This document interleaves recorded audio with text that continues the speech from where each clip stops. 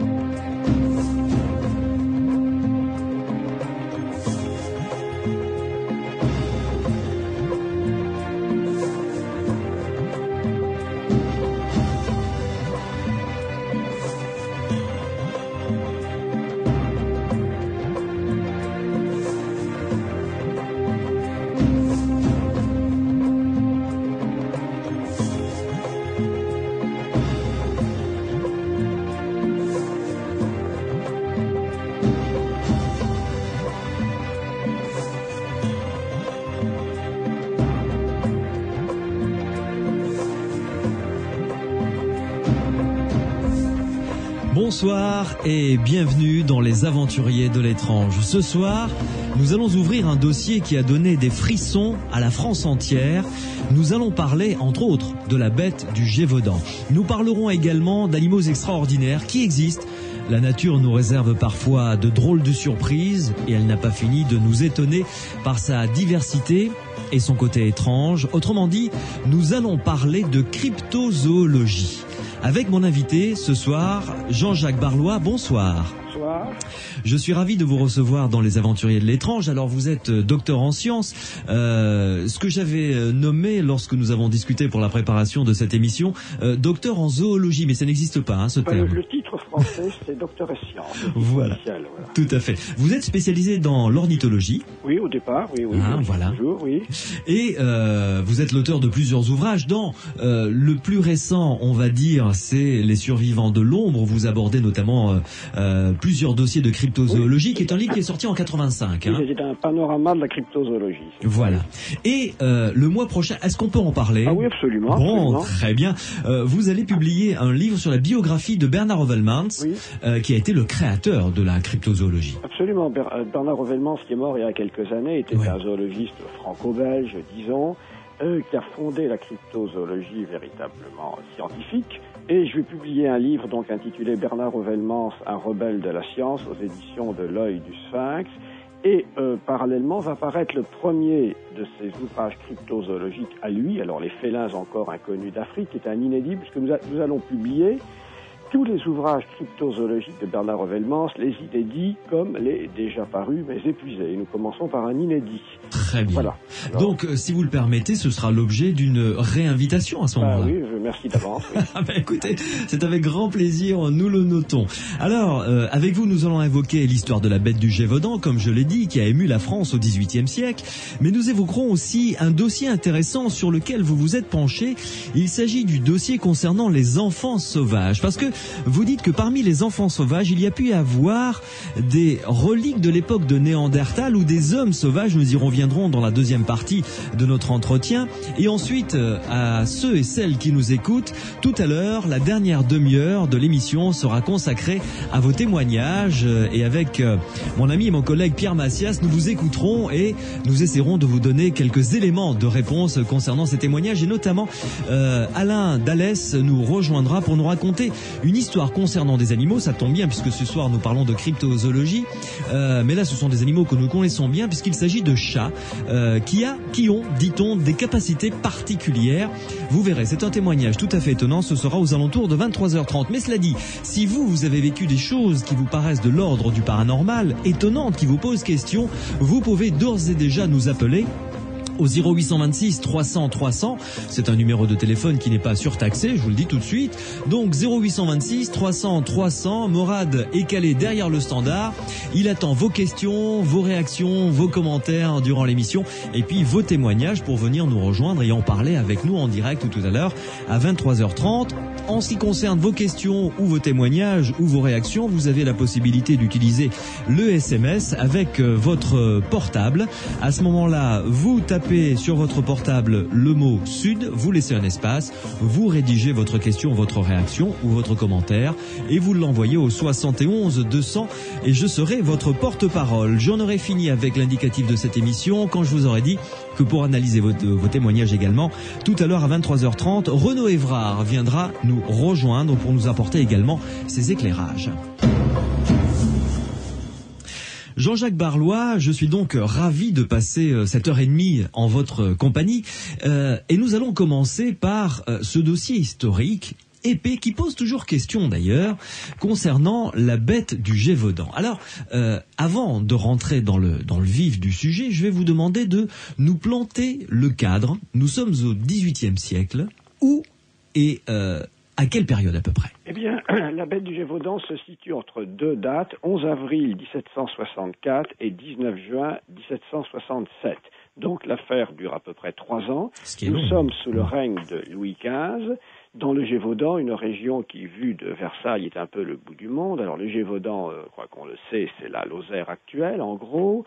Mais les, disons, les carnages de la bête vont se situer dans le nord du Gévaudan et dans les régions voisines de- du Vivarais, c'est-à-dire l'Ardèche actuelle, Oui. et également de la Haute-Loire et du Cantal, c'est-à-dire les régions voisines de l'Auvergne. Voilà. Mhm. Donc, pour euh, situer l'affaire dans le temps et, de, et dans l'espace. Ouais. Alors euh, géographiquement, pour qu'on comprenne bien, à cette époque-là, c'était quand même, je ne dirais pas le coin le plus reculé de France, mais euh, ça n'en était pas loin. On était dans un milieu très agricole là. Oui, absolument, un milieu très agricole, où alors, une chose très importante, on connaissait bien les loups, et on les aimait pas tellement parce qu'ils mangeaient des, des moutons, évidemment, mais enfin, ils ne faisaient pas très peur, les bergers ou les bergères étaient habitués à en voir, on n'était pas effrayés plus que ça par, par des loups. Mhm. Il faut dire aussi que c'est une région où il y avait beaucoup de brigands, bon, et une région où qui avait été encore ensanglantée peu de temps avant par les derniers soubresauts des guerres de religion. Ouais. Il y avait eu la guerre des, ma- des, des Camisards plus tôt, mais il faut garder ce contexte et on sait aujourd'hui que, toujours euh, très, très, euh, en gros, la, la Lozère du Nord était catholique et la Lozère du Sud protestante, ce qui est encore peut-être encore euh, le cas euh, Mhm. aujourd'hui.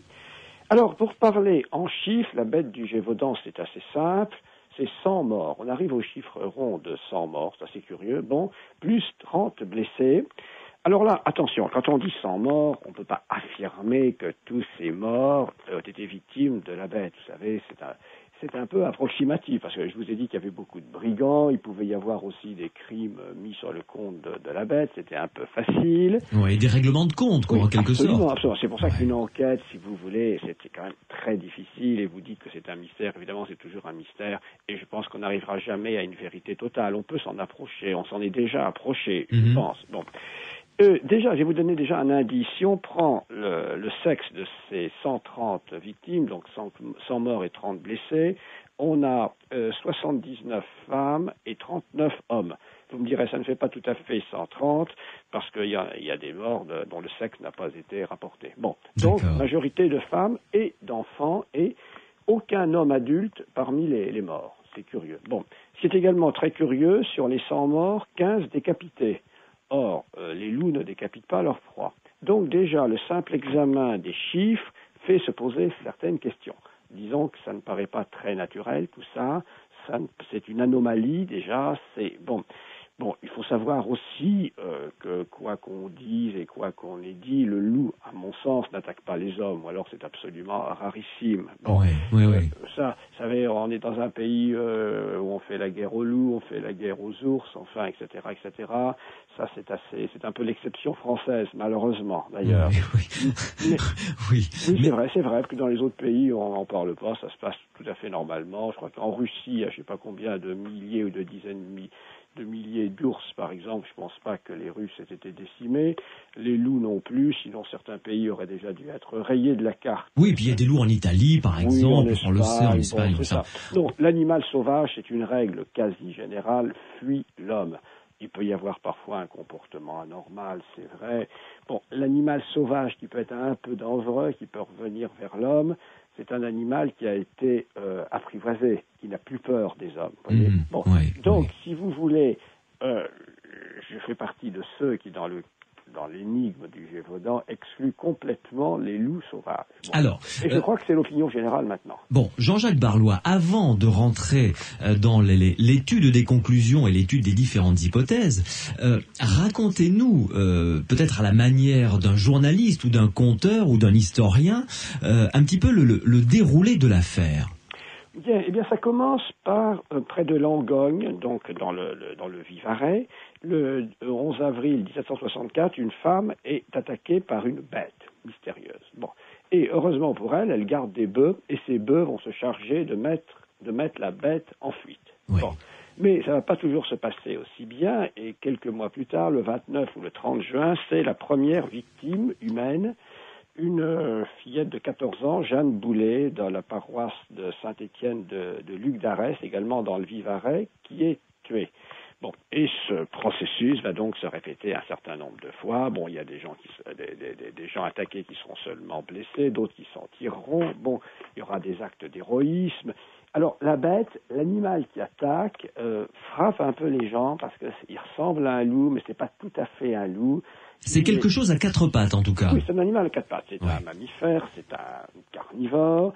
Il a un pelage plutôt roussâtre, il a une raie noire sur le dos, il a une queue touffue, il a une forte tête. Je parle des, des- de, de la... Des témoigges, là, de ce que je les parle de témoins la description la plus raisonnable, parce que vous imaginez si les, que les, si la- la- la- les, les récits et les rumeurs s'enflamment, enfin, etc. Oui, bon, oui. alors l'évêque demande s'en mêle et dit aux gens de sa région, mais vous savez, c'est un fléau envoyé par Dieu pour vous punir de vos péchés, enfin bon. Bien Et sûr. puis les, les, les morts se succèdent, si bien que l'affaire monte jusqu'à Paris ou à Versailles. Et Louis XV prend l'affaire très au sérieux et euh, au mois de novembre, il envoie un régiment de dragons, rien que ça, euh, dirigé par le capitaine Duhamel. Oui. Les dragons vont, vont se livrer avec les habitants de la région, d'ailleurs à des battues absolument gigantesques. Je crois que ce sont les battues les plus gigantesques de l'histoire de France, vraiment des milliers d'hommes euh, y participent. Bon, mais c'est l'échec. Bon, des, loups sont tués, mais ça c'est pas extraordinaire de tuer des loups. Et euh, au bout d'un moment, les dragons, un peu dépités, s'en vont. Alors, ils sont remplacés à partir du mois de février suivant par deux louvetiers normands qui arrivent de leur Normandie, les, Oui. Les Denval père et fils. Parce que durant ce temps-là, évidemment, la bête continuait à tuer. Ah oui, absolument. Oui, oui, ça, vous savez, bon, Oui. euh, ne s'est pas arrêtée. Bon, Mais alors, euh, dites-moi quand même, avant d'aller plus loin, euh, quand on retrouve les, les victimes, euh, bon, euh, celles qui sont vivantes, qui s'en sont sorties, ont peut-être pu apporter un, témoignage, mais euh, sur les corps, les cadavres, on a pu peut-être discerner quelques traces.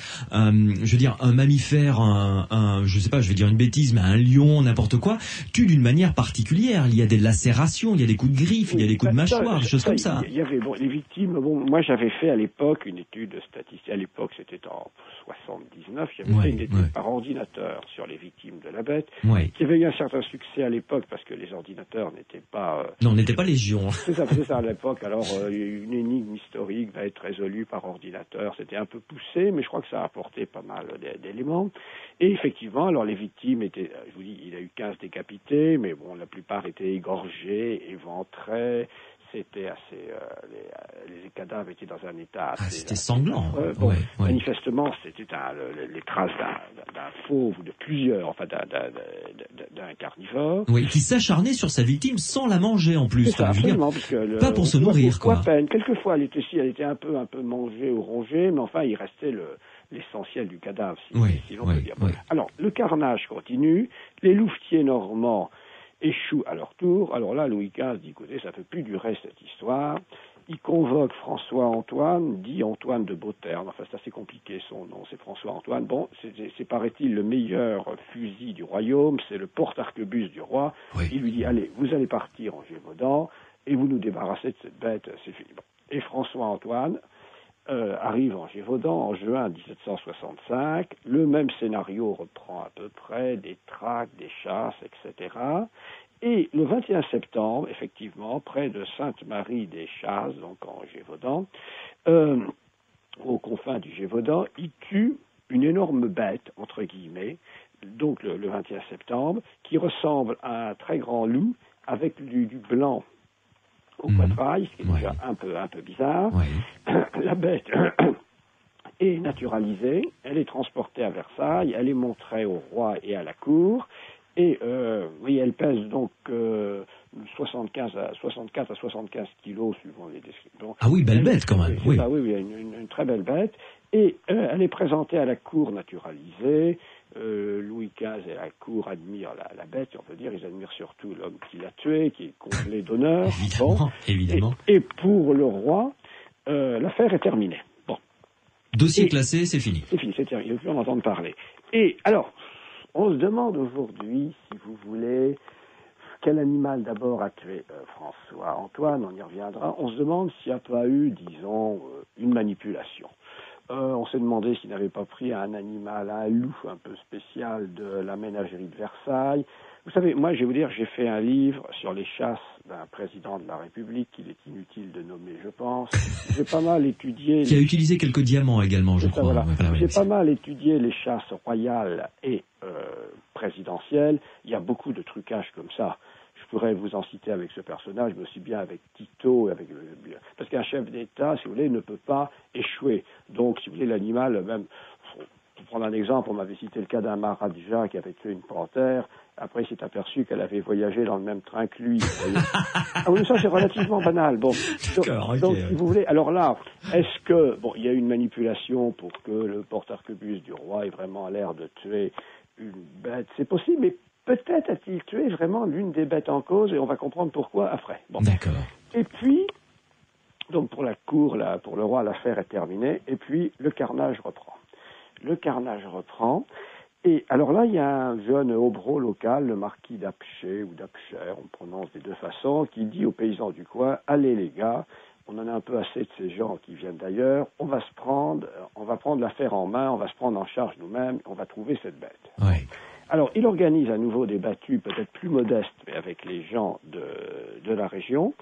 Et ces battues aboutissent à la célèbre scène du 19 juin, donc 1767, qui se passe sur la Saugne d'Auvers, près du mont, près du mont Mouchet. Il y a là un cabaretier de la région, euh, Jean Chastel, qui euh, attend avec son fusil que les chasseurs lui rabattent la bête. Euh, c'est un homme à, à très pieux. Il est en train de lire les litanies de la Sainte Vierge Oui. et il voit la bête qui arrive vers lui. Et, euh, chose curieuse, toujours d'après les rapports de, de- de l'époque, l'animal euh, semble marquer un temps d'arrêt en le voyant, comme si la bête se disait, est-ce que c'est ça? Comment ça se fait cet homme? Quand puis je lâche le morceau que je connais bien, s'apprête à tirer sur moi. Alors Jean Chastel, sans se troubler, ferme son livre, plie ses lunettes, prend son fusil et tire. Et la bête est tuée. Alors, euh, on dit même que depuis, l'herbe ne, rep- ne repousse plus. Enfin bon. Alors, il semble, parce qu'après c'est moins net tout ça, que Jean Chastel, à son tour, se dise, bah, je vais faire comme François-Antoine. Et alors, sa bête, à lui, euh, n'est pas naturalisée comme l'autre, simplement elle était viscérée, on enlève les viscères, on met de la paille, et il la met sur son cheval, paraît-il, et direction Versailles. Alors, quand il arrive à Versailles dans cet équipage, la bête, euh, ma foi, elle sent très mauvais. Ah oui. Euh, il paraît qu'il la montre à Buffon qui dit oh, bah, c'est un loup. Alors, il, il va la montrer quand même au roi et à la cour, mais euh, qui sont incommodés par l'auteur de la bête, Louis XV, et déjà est un peu agacé par cette histoire qui a continué. Il dit allez, enterrez-moi cette charogne, etc. Bon, et là, l'affaire s'arrête là. Et la, le carnage s'arrête. Donc, manifestement, la bête tuée par Jean Chastel était dans le coup. Et cette bête, comme celle de François-Antoine, ce qui prouve qu'après tout, peut-être, François-Antoine avait bien tué l'une des bêtes, Oui, a aussi, oui, oui. A, a aussi la- le poitrail blanc. C'est aussi une bête énorme parce qu'on on a un rapport très précis d'un notaire maître euh, marin sur elle. Elle avait donc une tête énorme, une marque blanche en cœur sur le poitrail, de très grosses pattes, vraiment un animal euh, énorme pesant à peu près autant que l'autre. Donc un 70-80 kilos, à- à donc peu ouais, près. ouais, Bon. ouais, ouais. Et ces deux bêtes se ressemblaient. Donc, l'hypothèse. euh, alors, voilà. Bon, alors, à mon sens, je vais vous dire ce qui s'est passé. Alors, justement, Jean-Jacques Barlois, nous allons marquer une pause pour garder le suspense, voyez-vous, Oui, pour oui. procéder un petit peu à, à un effet dramatique comme ça. Il faut absolument. oui. Nous allons marquer une pause et vous allez ensuite nous faire part des différentes hypothèses que vous avez étudiées et celle qui euh, a plutôt votre choix. Absolument. D'accord. Nous allons continuer sur Sud Radio donc à parler de ce dossier concernant la bête du Gévaudan. Vous le savez, vous pouvez poser des questions à notre invité Jean-Jacques Barlois par le biais du standard 0826 300 300. Morad va recueillir vos questions ou vous pouvez intervenir à l'antenne. Je vous rappelle également que le SMS est à votre disposition. Vous tapez Sud sur votre portable, vous laissez un espace, vous rédigez votre question, votre réaction, vous l'envoyez au 71 200. Et dernière chose, tout à l'heure, dans la dernière demi-heure de l'émission, vos témoignages, si vous avez vécu quelque chose de particulier, d'étrange. Renaud Évrard et Pierre Massias seront là à mes côtés pour nous aider à voir plus clair et à comprendre ce que vous avez vécu. À tout de suite sur Sud Radio. Sud Radio, les aventuriers de l'étrange, de l'étrange,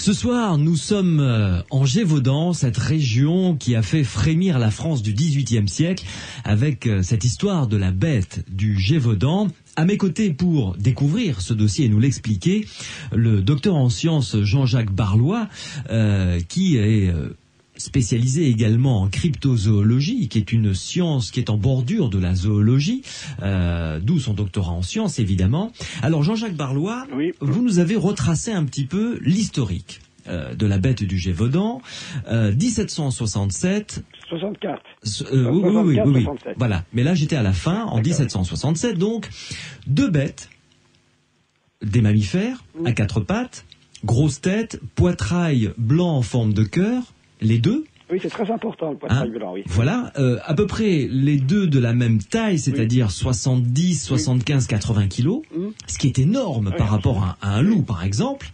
Euh, pour nous donner un ordre d'idée, un loup, ça fait quoi? Ça fait euh, 50 kilos à peu près. c'est ça, 45 ans. Hein, oui. 45, euh, 50 kilos. Surtout qu'à cette époque-là, il devait pas être gras comme des loches non plus, quoi. Non, enfin, je veux dire, c'est- hein, bon. Donc, 70, 75, 80 kilos, c'est une belle bête quand même, qui peut tuer un adulte. Euh, et là, on note jusqu'à maintenant que vous nous avez dit que euh, la totalité euh, des bêtes, donc des, pardon, des victimes, étaient quand même des, des êtres euh, faibles ou fragiles. C'est ça, absolument. Et donc, la bête n'attaquait pas les hommes adultes. Et Ouais. autre détail curieux, elle n'attaquait pas les animaux. On a cité peut-être un cas. Les animaux ne l'intéressaient pas. Donc, euh, tout ça, Ouais. vous avouerez que c'est très, très bizarre. Alors, il y a mille anecdotes plus ou moins croyables. Vous savez, euh, la bête qui revient narguer les parents d'une de ses victimes, elle s'accoude. Elle s'accoude. Ah oui. Attendez, elle s'accoude euh, sur la fenêtre. Et là, le père de la famille dit à sa fille, Marianne, passe-moi la hache. Et comme par hasard, la bête se sauve. Oui. Comme si elle avait compris. Évidemment, Très évidemment. intelligent. comme Oui. Et alors, dites-moi, il y a une, anecdote dont j'ai entendu parler, vous allez me dire si c'est vrai ou pas.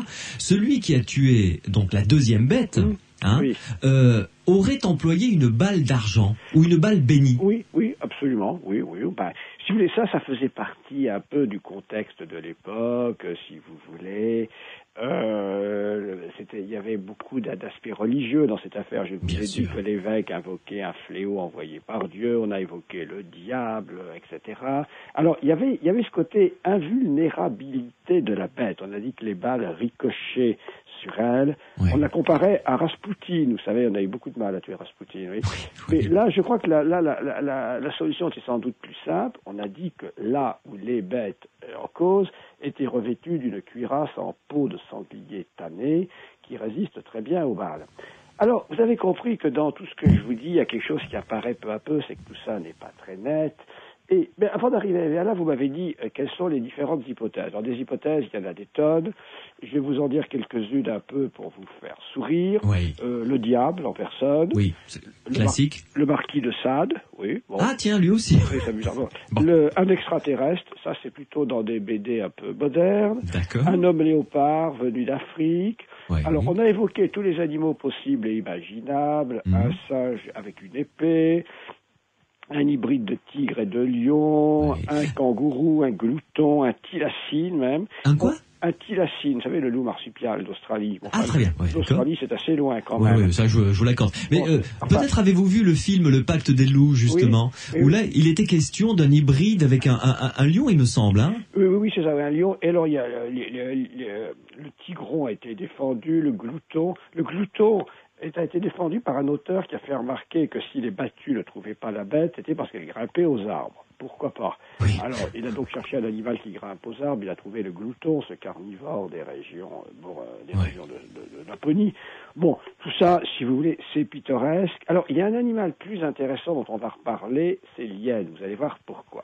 Bon, mais si vous voulez, dans tout ce que vous a- dans tout ce que je vous ai dit, on pourrait dire beaucoup d'autres choses. Fait, on a écrit des milliers de pages sur la bête du Gévaudan, même si euh, les documents eux-mêmes ne sont pas si abondants que ça. Ouais. Euh, c'est que si vous voulez, le coupable, il tient en combien de lettres En cinq lettres. Bon, bah c'est l'homme, évidemment. Bon, ça, ça, ça crève les yeux. C'est une Bon. sorte de serial killer quoi, en Oui, quelque sorte. Alors, oui, c'est plus compliqué que ça. Bon, dans mon- Ouais. à, mon, à mon avis, euh, il y a eu deux grandes phases. La première phase, effectivement, un serial killer, un tueur en série, un loup-garou, comme on disait à l'époque, un homme qui est tué tout seul. Bon. Dans la deuxième période, un peu par un phénomène d'imitation, une famille entre en scène. Bon. Avec une période de chevauchement entre les deux. Alors, c'est toujours très gênant de- de- d'accuser des gens parce qu'on n'a pas la preuve. Enfin, cette famille, tout converge vers elle, c'était la famille Chastel. Bon. Chastel. Alors souvenez-vous que c'est Jean Chastel qui a tué la dernière bête, et la bonne, si je puis dire, la, la plus sûre, et euh, qui a cette scène fameuse où la bête paraît le reconnaître et semble presque l'attendre. Bon. D'accord. Alors, si vous voulez, les Chastel, euh, parce que euh, ce, euh, ce Jean Chastel avait un fils qui était encore beaucoup plus inquiétant que lui, Antoine Chastel, une sorte d'homme des bois. Bon. Alors, ils auraient eu sur le mont Mouché, donc en pleine Margerie, en plein Gévaudan, une ménagerie clandestine avec non pas des loups, parce que le loup ne se laisse pas dresser, mais des hybrides de chiens et de loups, des matins, de grands dogs, peut-être une hyène, etc. Et ils les auraient lancés sur leurs victimes. Et souvenez-vous que la bête de Georges, tuée par Georges Chastel, comme celle tuée par Antoine, qui était peut-être authentique après tout, Oui. ont tous les deux cette fameuse marque de blanche au poitrail. Et Tout à ça, fait. Qu'est-ce que c'est? C'est le signe du chien. C'est le signe, parce que le loup ne l'a pas, c'est le signe de l'hybridation loup-chien. Et l'hybridation loup-chien est très facile à obtenir, et les hybrides de chiens et de loups étaient d'ailleurs utilisés pourquoi? Ben, Pour la chasse au loup, précisément. Bon, donc, si vous voulez, euh, alors vous allez me dire, mais pourquoi est-ce que ces Chastel euh, euh, lançaient ainsi leur, des bêtes sur des victimes innocentes comme ça Parce que 130 victimes quand même, Euh, oui, 100 enfin, morts attends, et euh, attendez, 39 euh, victimes. Mais dans les 130, il y a celle, à mon sens, à mon sens, du, Ouais. du- du tueur isolé du début. Bon. D'accord. Mais si vous voulez, alors pourquoi? Alors là, l'hypothèse aussi un peu gênante, parce que on se fait beaucoup d'ennemis avec cette histoire, vous savez, c'est que, euh, je l'avais un petit peu dit au début, c'était c'était les derniers soubresauts des luttes de religion. Bon, alors, on voit les protestants derrière, je suis désolé de le dire, mais vous, je dis rien contre les protestants à part ça, mais enfin, vous savez, il y avait des maquisards protestants, des guerrieros protestants encore en Gévaudan, et quand on lit les récits de ces dernières luttes en Gévaudan, des années 1750, on est surpris. On, on parle de ces hommes qu'on appelait les tigres, qui connaissaient les moindres sentiers de la montagne. Bon, et euh, le, comme je vous ai dit, le sud Gévaudan et, et le centre étaient plutôt protestants, le nord était Et le nord était catholique, oui. alors, évidemment, on peut dire, bah oui, la bête n'a tué, des- la bête n'a tué que des catholiques parce que c'était dans le nord du Gévaudan. Mais pourquoi est-ce que c'était dans le nord, précisément? Bon. Et moi, j'ai été encore beaucoup plus loin et j'ai lancé une autre, j'ai lancé une autre hypothèse qui a fait hurler certaines personnes, mais euh, il faut bien être audacieux quand même, il faut bien lancer. Mais cette hypothèse, elle plaît à beaucoup de gens. C'est que derrière les protestants, qu'est-ce qu'il y aurait eu? Et là, ça va très loin. Je ne veux pas trop vous choquer. Peut-être l'Angleterre. Parce que euh, c'est- c'était bien un coup euh, des Anglais, ça. Hein bon, on ne dit rien non plus contre les Anglais en général. Mais attendez, il y avait des- la, la France sortait de la guerre de Sept Ans Ouais. et s'était battue contre l'Angleterre, surtout outre-mer. Il y avait des liens entre les Huguenots et les Anglais, ça. Bon, Bien sûr, bien oui. connu. Bon, Hmm. donc, et la presse anglaise se moquait de l'incapacité de l'armée française à venir euh, à bout de la bête. Alors, bon, j'ai formulé cette, cette hypothèse. Bon. Alors, si vous voulez, donc, l'hypothèse à laquelle je me suis arrêté, je n'en ai pas varié depuis une vingtaine d'années, c'est premièrement un tueur isolé, deuxièmement la famille des Chastel, pour les appeler par leur nom, manipulée par les protestants et utilisant une ménagerie euh, clandestine, avec entre autres des hybrides de chiens et de loups. Et puis, il est arrivé un coup de théâtre il y a quelques années. Un, un taxidermiste du Muséum de Paris, Franz Julien, a retrouvé un document complètement oublié au muséum, selon, laquelle, selon le- le- lequel il y aurait eu au muséum une, une hyène rayée naturalisée qui aurait été étiquetée comme bête du Gévaudan. Ah bon? Et lui est persuadé, mais il n'a pas retrouvé le spécimen, il n'a retrouvé que le papier correspondant. Ouais. Et lui est persuadé que cette hyène rayée était bien la bête du Gévaudan, que c'était la bête de Jean Chastel. Pourquoi la bête de Jean Chastel plutôt que celle de, de François-Antoine Je ne sais pas. Enfin, il a, il a fait toute une brochure là-dessus, bien étayée, solide, assez convaincante, euh, mais qui se heurte quand même à certains, à certains obstacles, parce que la description de la bête, et notamment sa dentition, euh, conviennent mieux à un canidé euh, qu'à qu'à une hyène. Ouais. Bon. Mais euh, et puis la question principale, on est entre 1764 et 1767. Oui. Que vient faire une hyène Ah ben, y en en plein centre de la France? Alors, ah, mais attendez, à l'époque déjà, on en parlait. Quand on voit les, les textes de l'époque, il est très souvent question d'hyène. On parlait même d'une hyène échappée de la foire de Beaucaire. Mais ça, des hyènes, il y en a vu en captivité. Mais ça, vous savez, l'hyène, elle habite l'Afrique du Nord et le Proche-Orient. faut pas aller loin pour en trouver. Non, mais l'hyène, on la Oui. connaissait parfaitement dans les eaux d'Europe depuis très longtemps. D'accord. Ça, il n'y a pas de problème de ce côté-là. Ouais, ouais, ouais. Bon, mais la description ne colle pas tellement. Euh, sinon, j'avais, j'ai trouvé cette thèse effectivement assez, assez séduisante. Mais si vous voulez, je crois que, j'allais dire c'est mon avis et je le partage, je crois qu'on est quand même assez près de la vérité, là, vous voyez. Bon, parce qu'on a laissé tomber toutes les hypothèses, euh, on fait un peu des économies d'hypothèses, hein. on a laissé tomber toutes les hypothèses un peu euh, romanesques, euh, enfin qui ne tiennent pas la route. Bon, c'est l'homme le coupable d'une façon ou d'une autre, c'est évident, ça, ça crève les yeux. Il n'y a plus aucun dictionnaire maintenant qui ose mettre que la bête du Gévaudan était un loup monstrueux, comme ça se lisait encore il n'y a pas si longtemps. Même le grand Larousse ne le met plus. Bon, non, c'est l'homme, euh, de, de- de- dans- à mon sens, de deux façons différentes. D'abord seul et ensuite avec des par animaux interposés. Bon, Mais, alors euh, attendez, il faut savoir aussi quelques autres petites choses. C'est que d'abord, la bête du Gévaudan n'est pas la seule bête de ce genre de l'histoire euh, de France.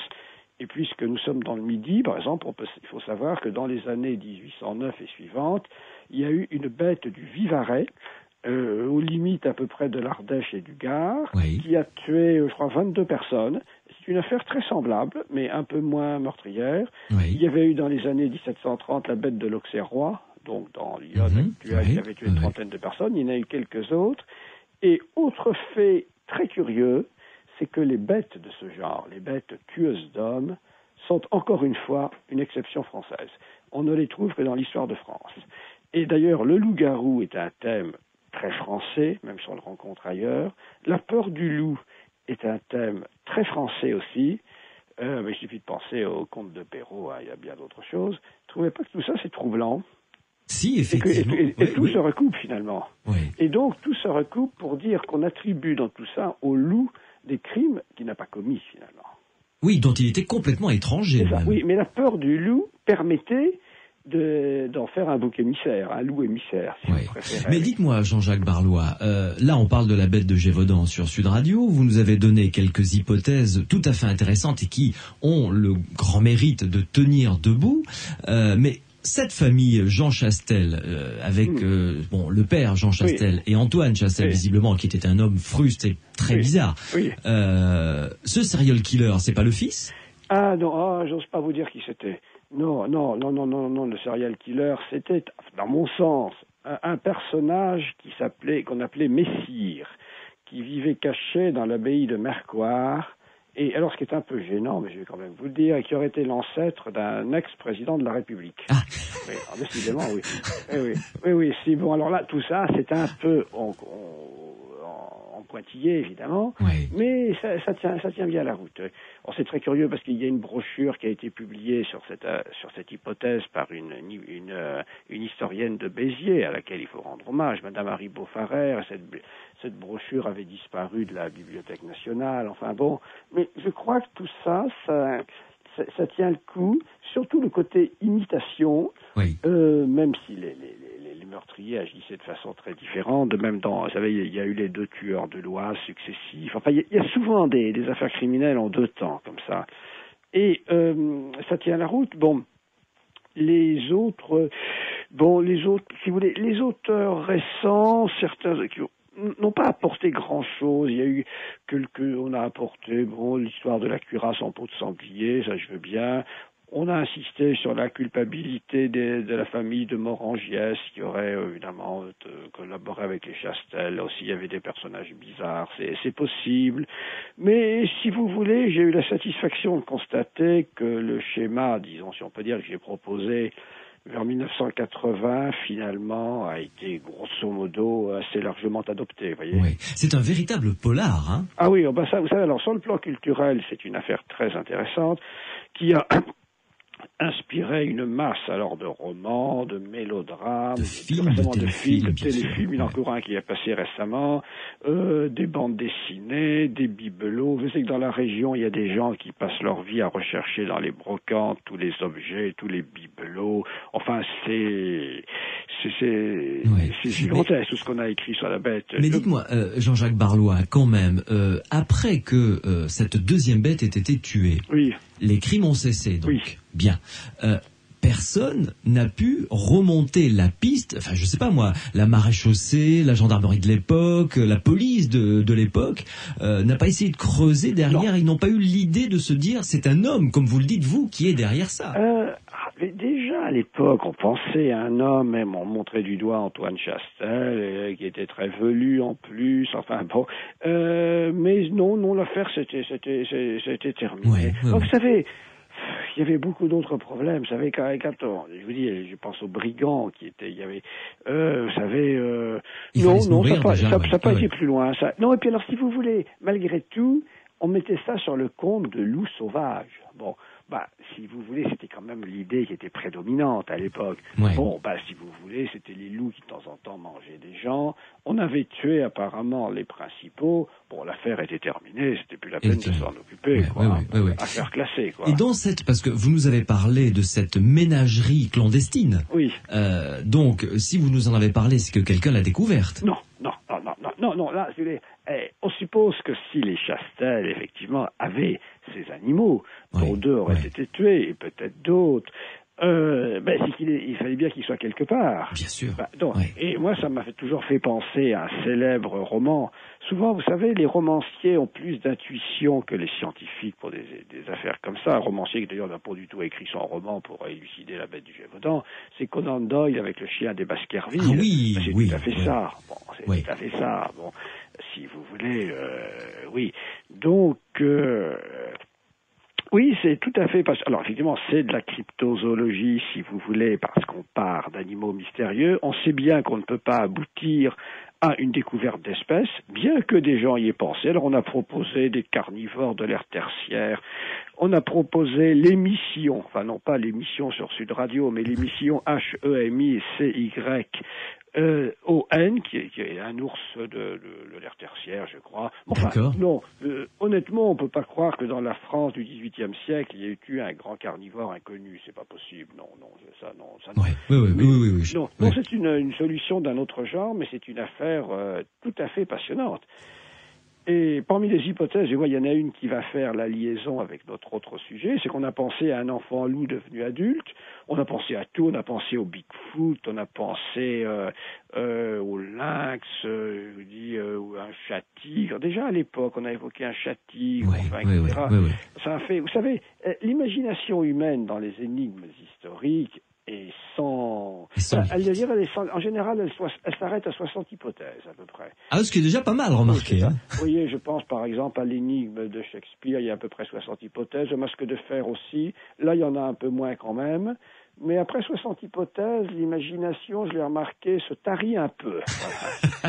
Jean-Jacques Barlois, vous l'avez évoqué euh, juste à demi-mot et ça va être l'objet de la suite de notre conversation sur Sud Radio dans les aventuriers de l'étrange. Avec vous, nous allons parler des enfants sauvages, ces cas d'enfants qui ont été élevés par des animaux absolument hors du contact de la société, de la civilisation et des hommes, bien entendu. Euh, on va évoquer avec vous plusieurs cas et puis il y a des cas parmi ce dossier-là qui restent en, en marge et ceux-là, ces petites pépites qui restent en marge sont peut-être très intéressantes et nous emmènerait sur un autre sentier réellement de la cryptozoologie, celui-là. Vous nous appelez au 0826 300 300 si vous voulez intervenir dans cette émission. Morad est au standard et attend sans aucun souci vos commentaires, vos réactions, vos questions. Si vous voulez poser des questions vous-même à Jean-Jacques Barlois, vous êtes les bienvenus, vous le savez. Vous pouvez également euh, passer directement par le biais du SMS. Sud vous tapez Sud sur votre portable, vous laissez un espace, vous rédigez votre question et vous l'envoyez au 71 200. Et puis tout à l'heure, euh, si vous avez vécu quelque chose de particulier, de l'ordre du paranormal en règle générale, de 22h30 jusqu'à minuit, eh bien ce sera antenne ouverte, vos témoignages, vous nous écrivez, euh, vous nous écrivez, non, il vaut mieux que vous nous appeliez directement au 0826 300 300. Venez nous parler de ce que vous avez vécu et avec euh, Renaud Évrard du GEMI, les jeunes étudiants de l'Institut métapsychique international et Pierre Massias qui travaille avec moi pour cette émission, nous écouterons vos témoignages et nous vous apporterons quelques éléments de réponse. À tout de suite. Les aventuriers de l'étrange sur Sud Radio. Nous sommes dans la cryptozoologie. Nous avons parlé avec euh, mon invité Jean-Jacques Barlois, qui est docteur et sciences, euh, donc spécialiste en zoologie et euh, en animaux, bien entendu, qui est en notre compagnie. Nous avons évoqué l'affaire de la bête du Gévaudan. Et là, euh, Jean-Jacques Barlois, avec vous, nous allons parler des enfants sauvages, euh, qui est un dossier marginal hein, dans la cryptozoologie, Oui, oui. finalement. hein, Et que qui bon, s'apparente un peu au précédent, parce qu'il va être aussi question de loup, mais sous un autre angle, un angle bénéfique au contraire. complètement. Alors, si vous voulez, il y a deux grandes catégories d'enfants sauvages. Il y en a même plus. Bon, Euh, il y a l'enfant sauvage qui a été perdu dans la nature et qui a vécu tout seul en pleine nature, Oui. qui s'est débrouillé comme ça, et qu'un beau jour on a trouvé, euh, type Victor de l'Aveyron, là, le plus Par célèbre. exemple, oui, oui. Et puis le la deuxième catégorie, en fait tout ça c'est hypothétique parce que quand on trouve l'enfant, évidemment on ne connaît pas son passé. Si on reconstitue son passé, c'est d'après son allure, enfin on va, on va revenir là-dessus. Bon, et deuxième catégorie, celle des enfants qui ont ou qui auraient, il faut souvent être prudent, été élevés par des animaux. Oui. C'est ce qu'on appelle généralement les enfants loups, parce que la majorité des cas bien documentés concernent des loups, mais il y aurait eu effectivement, il y a eu certainement des cas avec des ours. Pour des cas avec des chèvres, c'est un peu différent parce que là, c'était, on les avait mis avec des chèvres, bon, animal domestique. Oui, oui, oui. Alors, et puis, alors, ce dossier des enfants loups et des enfants sauvages a évolué depuis quelques décennies. Disons que l'enfant loup est maintenant remplacé dans nos sociétés par l'enfant chien, et euh, c'est-à-dire l'enfant que des gens euh, ont, euh, que, du- que- que des parents indignes évidemment ont enfermé dans une pièce avec un chien ou une chienne, et la chienne l'a, littéralement élevé, parfois même l'a allaité. Là, Oh, j'ai, oui. sous les yeux un hebdomadaire allemand Quick du 13, 20 du 23 mars 88 où on dit ceci, euh, dit, je parle pas allemand, enfin dit Tragödie der Wolf euh, Jungle, ça Mhm. veut vouloir dire la tragédie de l'enfant loup. Cet enfant loup, en fait, était le petit Horst Werder Reinhardt trouvé à, à, à, à Düsseldorf, vous savez, avec une chienne euh, berger allemand, enfin, c'était une très grosse affaire. Et puis, il y a eu d'autres cas plus récents. Et puis alors, euh, l'enfant sauvage, lui, de même, est un peu remplacé maintenant dans nos, dans nos sociétés par l'enfant placard, l'enfant séquestré. Oui, malheureusement. Et Oui, oui, il y a oui, eu oui. le, le cas, évidemment, très récent de la petite Natacha. Qui est restée, oui, voilà, tout à fait, qui est restée huit ans enfermée, hein, c'est à ça. propos de laquelle on a évo- évoqué Caspar Hauser, euh, autre vedette de- dans ce domaine, on reprendra certainement. Oui. Alors, euh, parlons des enfants sauvages euh, qui ont été élevés par des animaux. Euh, la plupart des cas, nous avez-vous dit, euh, concernent des loups, des louves en l'occurrence. C'est ça, absolument. Alors, il il y a eu des cas euh, en, en France. Alors, si vous voulez, il faut bien se dire tout ça, c'est toujours euh, en général à mettre au conditionnel. Bon, euh, les cas les plus documentés, pour employer cette expression, sont ceux de l'Inde, sont ceux des enfants loups de Oui. l'Inde. Des Avec- mouglis, quoi, en quelque sorte. Vraiment, là, on est en plein dedans. c'est- pas Ouais. hasard, Ouais. avec notamment les petites Amala et Kamala, vous savez, trouvées vraiment dans une tanière de loup, élevées par un révérend, etc. Alors, a- racontez-nous ça, parce que je connais pas ce, eh ce cas-là. écoutez, Amala et Kamala, c'est ces deux fillettes qui ont été trouvées dans une euh, tanière de loups par un révérend, mais un révérend euh, indien, donc, qui les a élevées, le révérend Singh, et euh, euh, euh, une est morte à deux ou trois ans, mais l'autre a, a vécu 18 ans et a manifesté pas mal d'une certaine évolution. Et là, si vous voulez, alors on a des photos. On n'a pas de photos de ces enfants avec les loups. Mais, euh, donc ça se passait effectivement en 1920, près de Midnaport. On n'a pas de, de photos, on les a, on a de nombreuses photos prises ensuite, on les voit très Oui. impressionnantes. on Mais voit elles ont été élevées jusqu'à quel âge par les loups? Eh bien, ah ben ça, vous savez, on n'en sait rien.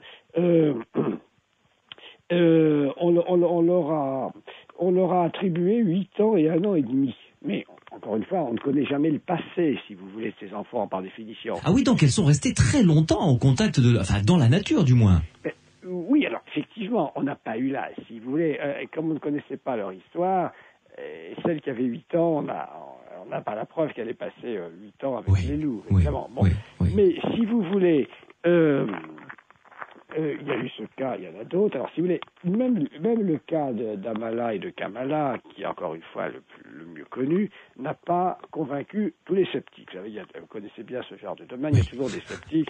Il n'y a pas pire sourd que celui qui ne veut pas entendre. Bon, oui, oui. c'est vrai qu'on n'avait pas la preuve absolue, on avait le témoignage de ce révérend ou d'autres personnes, comme dans, toujours dans ces cas-là. Bon. Et puis, il a fallu vraiment qu'il arrive les affaires d'enfants chiens que je vous ai citées, ou avec ce petit garçon, effectivement, d'Allemagne en 1988, on a eu, on peut dire, un enfant loup, presque grandeur nature, même si c'était tragique comme affaire. Donc, vous vous souvenez de l'histoire? Non. il y, a, il y avait aussi ce petit garçon, on l'a trouvé avec la chienne euh, Asta, et qu'il l'avait élevée. Et on ne pense pas à prendre des photos. Il paraît que les habitants du quartier le, voyaient les deux têtes côte à côte à une lucarne, le, le petit, le, petit garçon et la chienne. Mais ça, pour tout, ça paraissait pas extraordinaire. Et en fait, il était complètement. Et pour la petite histoire, c'était d'ailleurs assez sympathique. Vous savez qu'Alain Delon, qui aime bien les chiens et qui aime aussi les enfants, a- avait proposé d'adopter les deux. Bon, oui. l'enfant mais enfin, il ne les a pas eu. Bon, alors, le petit a été, comme toujours, il a été confié, je ne sais pas, à un hôpital ou à une institution. Il a fait des progrès, parce que le cas général de tous ces enfants, c'est qu'on peut les éduquer, ils font des progrès. Euh, en général, ils ne rattrapent jamais totalement leur retard. hein. Bon. Mais parce qu'ils ont un comportement animal, évidemment, s'ils ont Oui. été élevés par un loup ou par un chien. C'est ça. Alors effectivement, moi j'avais cherché, j'avais essayé donc euh, quand j'avais fait mon enquête à euh, essayer de voir les différences dans les descriptions entre l'enfant sauvage qui semble-t-il avait vécu seul en pleine nature, Ouais. type Victor de l'Aveyron, et l'enfant qui avait été élevé par les loups. Alors, euh, si vous voulez, parce qu'encore une fois, quand on dit que Victor de l'Aveyron n'a pas été élevé par des animaux, on n'en sait rien. Si on dit ça, c'est parce que dans sa morphologie, dans son comportement, il n'avait rien de vraiment animal. Tandis que les enfants qui ont, ou, ont- ou, euh, semble-t-il, été élevés par des animaux, ben, d'abord, ils sont quadrupèdes, ils sont pas bipèdes. Voilà, ils marchent à quatre Ils pattes. marchent ouais. à quatre pattes, ils, ils mangent de la viande, ils lapent l'eau, ils, euh, ils, sont, ils, ils ont, euh, ils ont des, des- des traces de cicatrices ou de morsures, etc. Alors, ce qui est tout à fait étonnant, c'est dans les, dans, les deux catégories d'ailleurs, les capacités sensorielles tout à fait modifiées, un, odorat très fin, il y en a qui sont insensibles au froid, qui prennent des tisons, euh, des tisons brûlants à pleine main, enfin il y a des, des choses tout à fait étonnantes, vous voyez. Oui, oui, Et, oui, oui. euh, mais en général, ils ne vivent pas très longtemps. La plupart meurent à 20 ans, il y a eu quelques cas, euh, il y en a quelques-uns qui ont atteint 30 ou 40 ans. Vous voyez, Victor est mort en 1828 à environ 40 ans, c'est pratiquement un, record. Oui. Et lui, il avait été éduqué par le fameux spécialiste des sourds-muets, Itard, et il a, il a été le héros du fameux film de Truffaut. Oui, très beau film, d'ailleurs. Oui, oui, L'enfant oui. sauvage. Oui, oui, Alors, ce dossier est très très intéressant parce qu'il pose à la fois un problème de psychologie humaine et un problème de psychologie animale. Bon, il faut dire que euh, les sceptiques commencent enfin à être convaincus sur le- le- l'élevage de- donc d'enfants par des animaux à la suite, hélas, je dirais, de ces découvertes d'enfants chiens, puisque là, vraiment, en, en- en Roumanie, il y a même eu un cas d'enfant qui avait été allaité par la chienne. Voyez, bon. Ce qui est Et oui, voulez, oui. oui. Et en même temps, sur le plan du comportement animal, c'est pas trop trop étonnant. Vous savez, il y a beaucoup d'altruisme chez les animaux. Il y a des, bon, on connaît l'exemple du coucou évidemment, qui est euh, nourri par des, des, des- des oiseaux d'une autre espèce. Oui. Bon, si vous voulez, il y a, il y a des, adoptions, des cas d'adoption entre, une entre deux espèces. Il y a des cas de- d'amitié entre espèces tout à fait euh, apparemment opposées, entre guillemets. Donc, si vous voulez, ça rentre dans un cadre euh, assez... Plausible. euh, plausible. Oui. Mais là, vous avez parlé d'enfants sauvages élevés par des ours, par exemple. Oui, alors, il y a eu quelques cas en, dans les pays d'Europe de l'Est, en Grèce, etc. Il y en a moins qu'avec les loups, mais enfin, il y en a qui semblent tout à fait, tout à fait euh, plausibles également. Et alors, euh, puisqu'on est dans le Midi, il faut quand même dire un mot de la sauvagesse des Pyrénées. Vous connaissez cette histoire, non? Non, allez-y, Ah, racontez-nous. la sauvage. D'ailleurs, pour ceux que ça intéresse, il faut retrouver le livre de Christian Bernadac euh, consacré à cette énigme et qui est apparu chez France Empire il y a oh, maintenant 25 ans. Si vous voulez, c'est dans, les années 1807, dans les Pyrénées, dans le centre des Pyrénées, on a repéré une femme qui vivait donc dans la montagne, complètement nue, euh, qui plongeait dans les temps, euh, dans les mares donc glacées, enfin, etc. Elle avait de longs cheveux, enfin bon. On a décidé de la capturer. On l'a capturée. Elle s'est évadée. On l'a recapturée. Et, vous savez, on l'appelait la folle des Pyrénéens. Bon. Et on l'a enfermée à la prison du château de Foix, où elle est morte euh, l'année suivante. Oui, j'ai Bon. visité la prison du château de Foix, c'est pas le meilleur endroit Oui. pour éduquer quelqu'un. Hein. Mais Non. si vous voulez, vous voyez, il y avait encore ce- parfois ce comportement à cette époque. Bon. Et alors, on a essayé de reconstituer son histoire. Il semble que c'était une femme de famille noble, on a même avancé à ou deux noms, qui avait fui la Révolution avec euh, sa famille. Bon. Et euh, après la Révolution, elle est donc revenue et lorsqu'elle a franchi les Pyrénées, elle a été attaquée par son équipage, disons, a été attaqué par des brigands. Et sans doute que les membres, les autres membres de sa famille ont été tués, et elle s'est sauvée dans la montagne. Et alors, attendez, j'y pense parce que vous avez parlé des ours, et alors, euh, on a pu, elle, elle parlait, on a pu quand même euh, les, dialoguer avec elle, et à un moment, on a parlé des ours, on disait du mal des ours, mais elle a dit, mais les ours, il faut pas, il faut pas en dire du mal, ils ont été très gentils avec moi, ils me réchauffaient, etc. Et c'est très possible qu'elle ait été recueillie par des ours, c'est pas, c'est pas du tout impossible. Et c'est une très belle histoire, la sauvagesse des Pyrénées. Je m'étonne qu'elle n'ait pas tenté de, de cinéaste, à ma connaissance. Oui, mais. Mais euh, il y a une dame très récemment qui euh, euh, a raconté sa vie.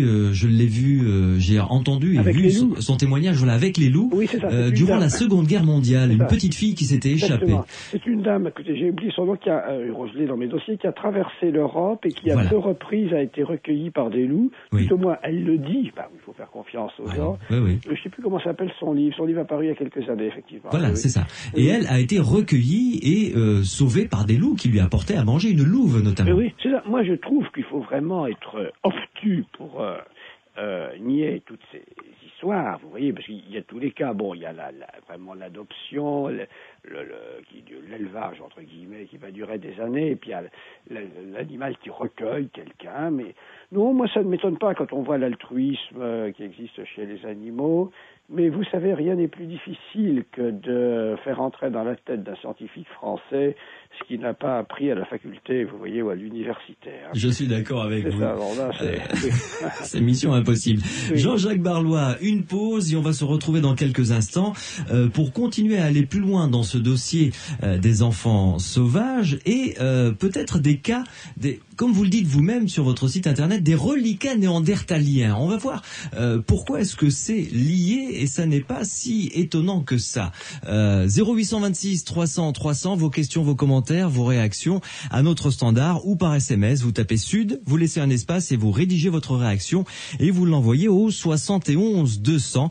Nous allons parler de ces peut-être survivants néandertaliens, euh, oh, qui ne sont pas arrivés jusqu'à nous, quoique on ne connaît pas encore si bien la planète que ça, euh, avec Jean-Jacques Barlois dans quelques minutes sur Sud Radio. Les aventuriers de l'étrange sur Sud Radio.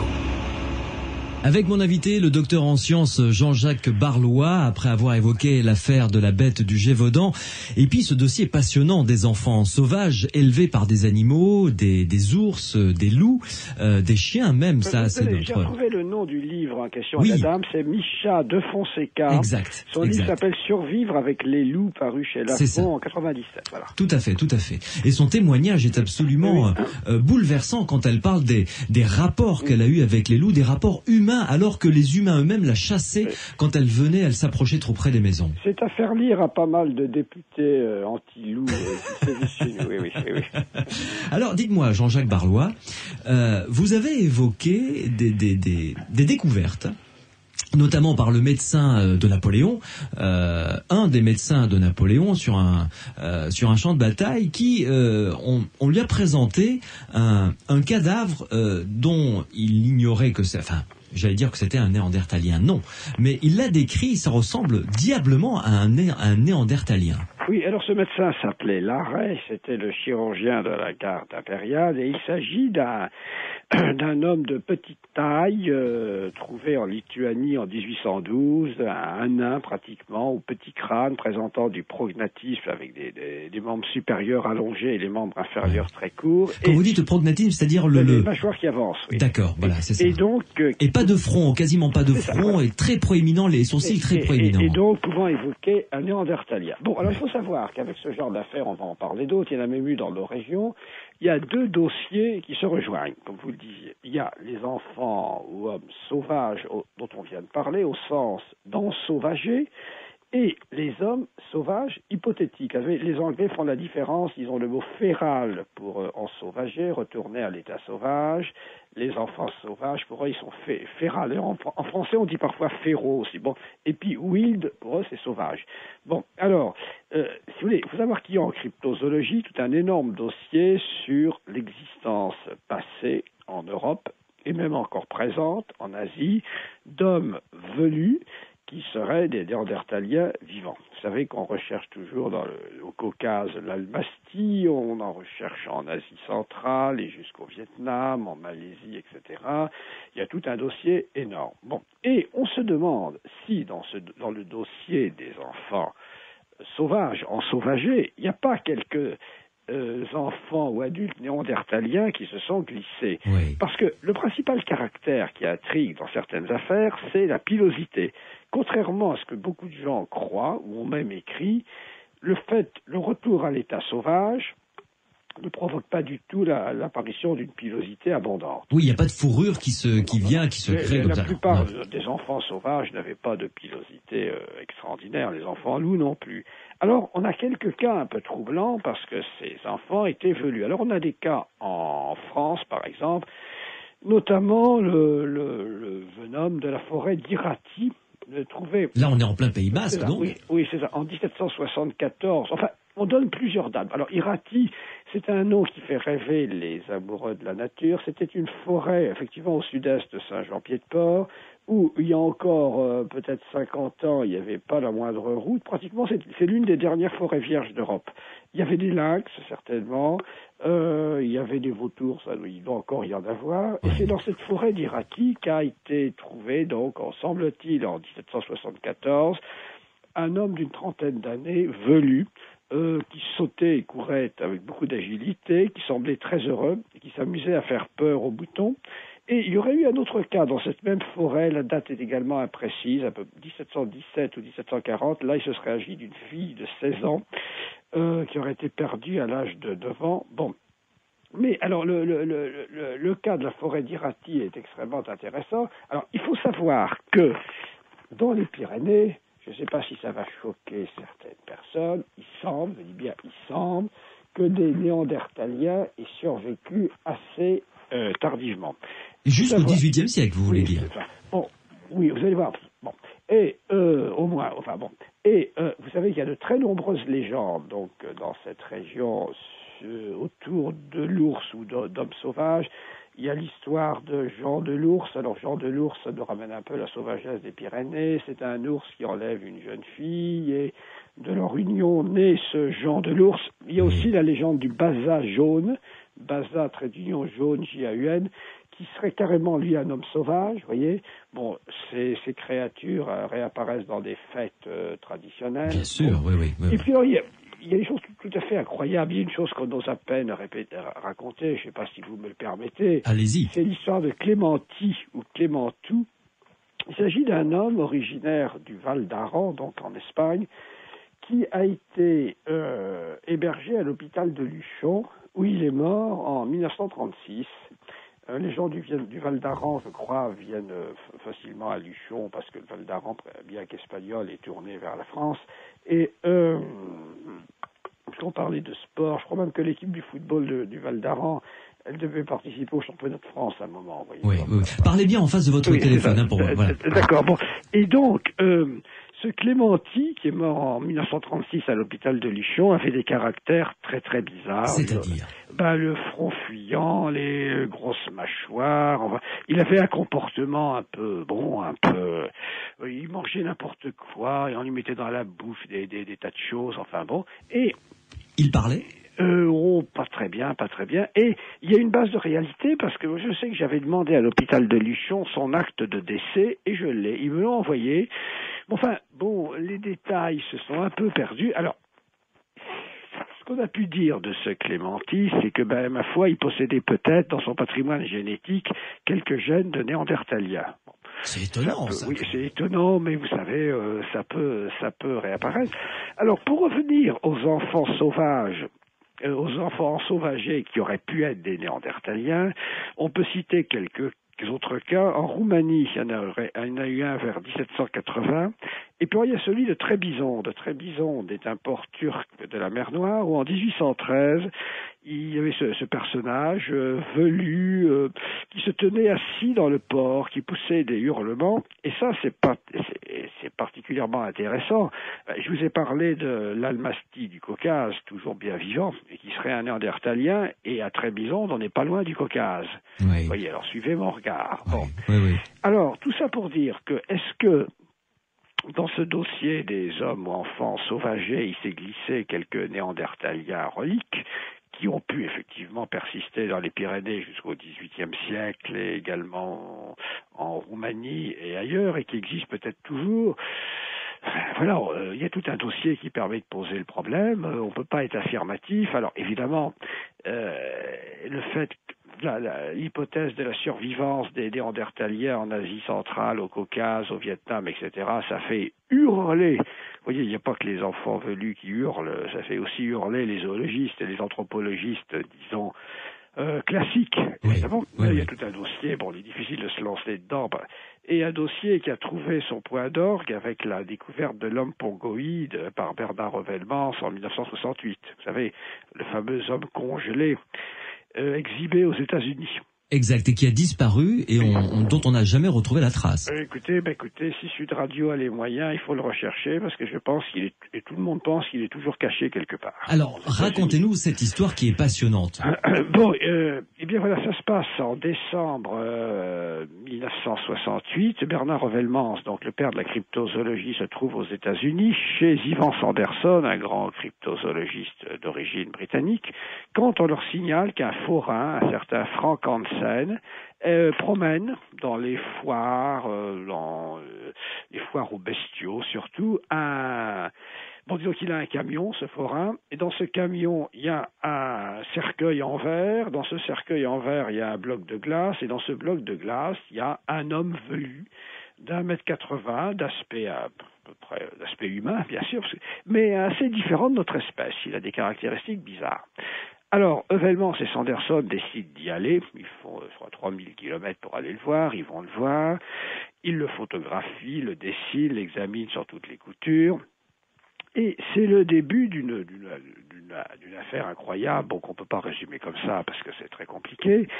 Et euh, si vous voulez, euh, malheureusement, on n'a jamais pu le toucher cet homme. Il était toujours dans son cercueil de glace. Bon, Oui, oui, oui. mais je pense, alors, il y a eu, si vous voulez, alors les sceptiques ont dit c'est un faux, c'est un montage et tout ce qu'on a pu dire, mais moi j'ai entièrement confiance dans, dans Evelmans et dans les quelques autres scientifiques qui ont daigné se déplacer pour aller le voir, enfin très peu, vous voyez comme s'ils sont curieux ces gens-là, on leur dit un, un homme inconnu dans un exposé à 3 kilomètres de chez vous, il n'y en a pas un qui y va, vous voyez. C'est, non mais c'est comme ça, c'est comme ça. Bon, c'est, c'est incroyable, mais c'est comme ça. Bon, Mais en tout cas, ce qui est sûr, c'est que ce forain a disparu du jour au lendemain avec euh, son cercueil dans lequel il y avait cette Oh, espèce d'homme velu. Euh, pas du jour au lendemain, ça a duré pas mal de temps. Il a continué à le balader, il a même été au Canada avec, enfin, etc. Ouais. Ça a été très compliqué. Les- toutes les autorités américaines euh, ont été, on se sont saisies de cette affaire. Mais aux États-Unis, c'est très difficile d'enquêter chez les gens s'il n'y a pas de à leur faire. Alors, le forain, lui, a raconté qu'il l'avait tué aux États-Unis même. Bon.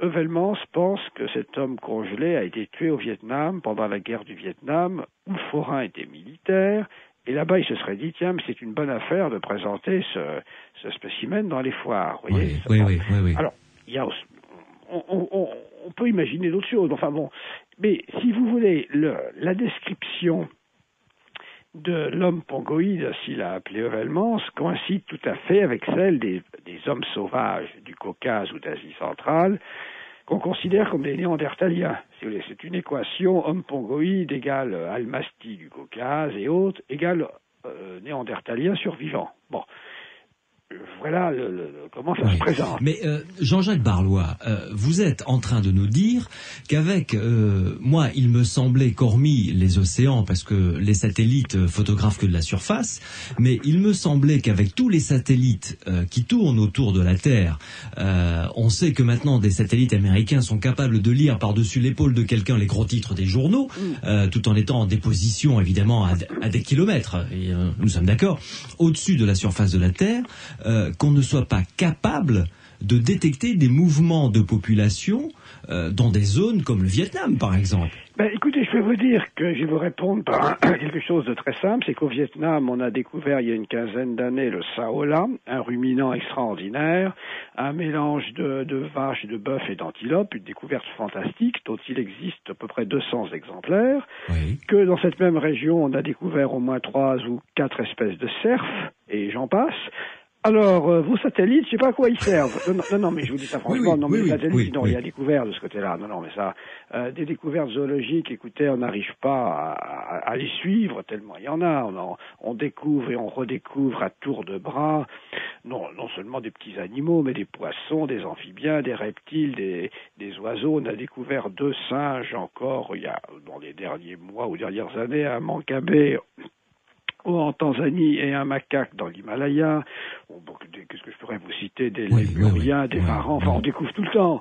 Bon, et ça semble même augmenter le, le rythme des découvertes, c'est incroyable. on dé- Non, parce que si vous voulez la connaissance géographique et la connaissance zoologique, c'est pas du tout la même chose. Et puis, je suppose que dans les profondeurs de la forêt amazonienne, pour Oui, citer oui, que celle-là par oui. exemple, il y a encore pléthore d'animaux dont on ignore jusqu'à l'existence. Ah oui, bon, en Amazonie, on découvre, où on redécouvre des oiseaux, des, des perroquets, on découvre des singes. Bon, alors on, espère toujours retrouver un, un anaconda de 25 mètres. Bon, bah ça, euh, oui, non mais c'est sûr, non mais si vous voulez, on est, on, on vit encore un peu avec, euh, comme disait Evelmans, les mirages de la science triomphante, vous savez. Oui, moi aussi, on me dit toujours, mais les satellites, les satellites, bah, écoutez, moi je sais pas ce qu'ils ont découvert, mais enfin, pas grand-chose en zoologie, je crois pas, en tout cas. Euh, bon, oui, euh, Ouais, ouais, non, ouais, c'est quand même, non, non, vous savez, euh, c'est plutôt les bonnes vieilles méthodes traditionnelles encore, ou bon, la recherche zoologique ou cryptozoologique, une sorte de dépistage, ou parfois la chance, tout simplement. Vous allez vous euh, promener sur la plage d'Arcachon, puis vous allez buter, vous allez dire, qu'est-ce que c'est que cette charogne Ah, mais c'est un mosasaure qui s'est échoué, oui. C'est quoi? Un mosasaure, bah, un reptile marin de l'art secondaire. Moi, je suis persuadé que Ça ressemble à quoi? Excusez-moi, parce que là, je, je m'y suis baladé pourtant euh, sur la plage mais d'Arcachon. Mais là, c'est... Je Oui, oui, oui, que oui, oui. le mosasaure présumé, euh, effectivement, a été signalé au large des côtes de France. Ben, si vous voulez, c'est un des candidats au serpent de mer, à l'identité le serpent de mer. C'était un grand reptile marin de la fin de l'ère secondaire. Et il y a des témoignages tout à fait extraordinaires. De quelle taille ce, ce... Oh, une dizaine de mètres quand même. Ah oui, belle bête, quand même. Bon, alors on peut imaginer une espèce plus petite, évidemment, mais il y a, il y a un épisode tout à fait fantastique qui se passe en 1917, donc pendant la guerre de 14-18, au large du Finistère. Il y a un sous-marin allemand qui avise, qui voit un énorme cargo anglais Liberian. Bon, les Allemands décident de le couler, lui envoient une torpille, le bateau disparaît dans l'eau, l'équipage sera sauvé. Bon, le alors, et tout d'un coup, il y a une explosion, le bateau manifestement a explosé euh, sous les eaux, et un animal gigantesque, à allure précisément de mosasaure, est projeté en l'air, fait un vol plané en l'air jusqu'à, mettons, 30 ou 40 mètres de haut, et retombe dans la mer, sous l'œil des marins allemands stupéfaits. Alors, bon, il y a eu un rapport, etc. Bon, là, toujours pareil, on, on y croit ou on n'y croit pas. Mais moi aussi, je trouve ça assez cohérent parce qu'on a d'autres observations d'un tel animal, euh, notamment au large des côtes d'Europe. Oui. Alors, Donc, un- reptile d'une dizaine de mètres. oui, oui, oui, c'est ça. Un aspect un peu de crocodile marin, vous voyez, pour situer les, les faits. Ah oui, effectivement. Et de quel diamètre Enfin, je veux dire, Oh, bah, vous savez, euh, diamètre, qu'est-ce que vous avez euh, euh, Près d'un mètre, certainement, vous voyez. D'accord, oui, oui, oui, oui, oui, oui, le- Non, mais tout Oui. ça, ça me paraît plausible. Bah, le dossier du serpent de mer, vous savez, il comprend des milliers de témoignages. Encore une fois, un témoignage, c'est un témoignage, mais je pense que euh, moi, je ne rejette pas tous les témoignages. Ils ont. Euh... Je vais vous citer autre chose. Euh, dans le Velay, la Haute-Loire, il y a une petite rivière qui s'appelle le Lignon du Velay. Et euh, pendant la guerre, pendant la dernière guerre, il y a un jeune garçon de, euh, 16-17 ans, là, qui pêche. Bon, il pêche la truite, et tout d'un coup, il voit passer à la surface de l'eau un animal extraordinaire. Un animal de 60-70 cm de, long. Euh, alors il le prend, il le prend dans, ses dans sa main, il le regarde. Ça ressemble à rien de connu, ça ressemble à un petit serpent, une sorte de gros ver avec des yeux, un revêtement corné. Et chose curieuse, l'animal reste dans sa main à l'horizontale, vous voyez, il ne s'affaisse pas comme l'aurait fait normalement un serpent. Oui. Et ce, ce jeune garçon a un geste euh, euh, très généreux sur le plan de la protection de la nature. Il remet l'animal à l'eau. Bon. Et ce qui est extraordinaire, c'est que ce jeune garçon, il devait devenir un zoologiste très connu, puisque c'était Pierre Pfeffer, vous savez, bien connu pour son action en faveur des, des éléphants notamment. Oui, oui, oui. Et Pierre Pfeffer n'a jamais osé publier ça. Et il m'a raconté ça un jour entre deux portes, c'est moi qui l'ai publié, parce que, ben oui, un zoologiste comme lui n'aime pas raconter quelque chose d'extraordinaire. Et j'ai pesé la- le problème de toutes les façons possibles, j'ai écrit dans la région, j'ai passé un appel dans la presse locale, Je- euh, on ne peut absolument pas expliquer cette observation, ni par une espèce exotique évadée, ni par un animal marin qui aurait remonté la Loire. Enfin, ça ne ressemble à rien de connu, cet animal. Et ça se passait en France dans les années 40. Jean-Jacques Barlois, une dernière pause et on se retrouve ensemble pour évoquer pêle-mêle d'autres dossiers comme ça de la cryptozoologie euh, qui sont proprement fascinants et passionnants et qui nous font découvrir eh bien qu'il faut rester très humble face à Dame Nature qui nous réserve encore pas mal de surprises. Cela dit, vous le savez tout à l'heure, la dernière demi-heure de l'émission sera consacrée à vos témoignages. Vous pouvez nous appeler au 0826 300 300 0826 300 300 pour nous faire part de un événement que vous avez vécu qui vous paraît tenir du phénomène paranormal. Vous écouterez d'ailleurs à ce propos le témoignage très intéressant d'Alain Dallès qui nous rejoindra tout à l'heure pour nous faire part de ce qu'il a vécu avec ses deux chats dont un qui est décédé et ça c'est le début de l'histoire sur Sud Radio. Sud Radio, les aventuriers de l'étrange.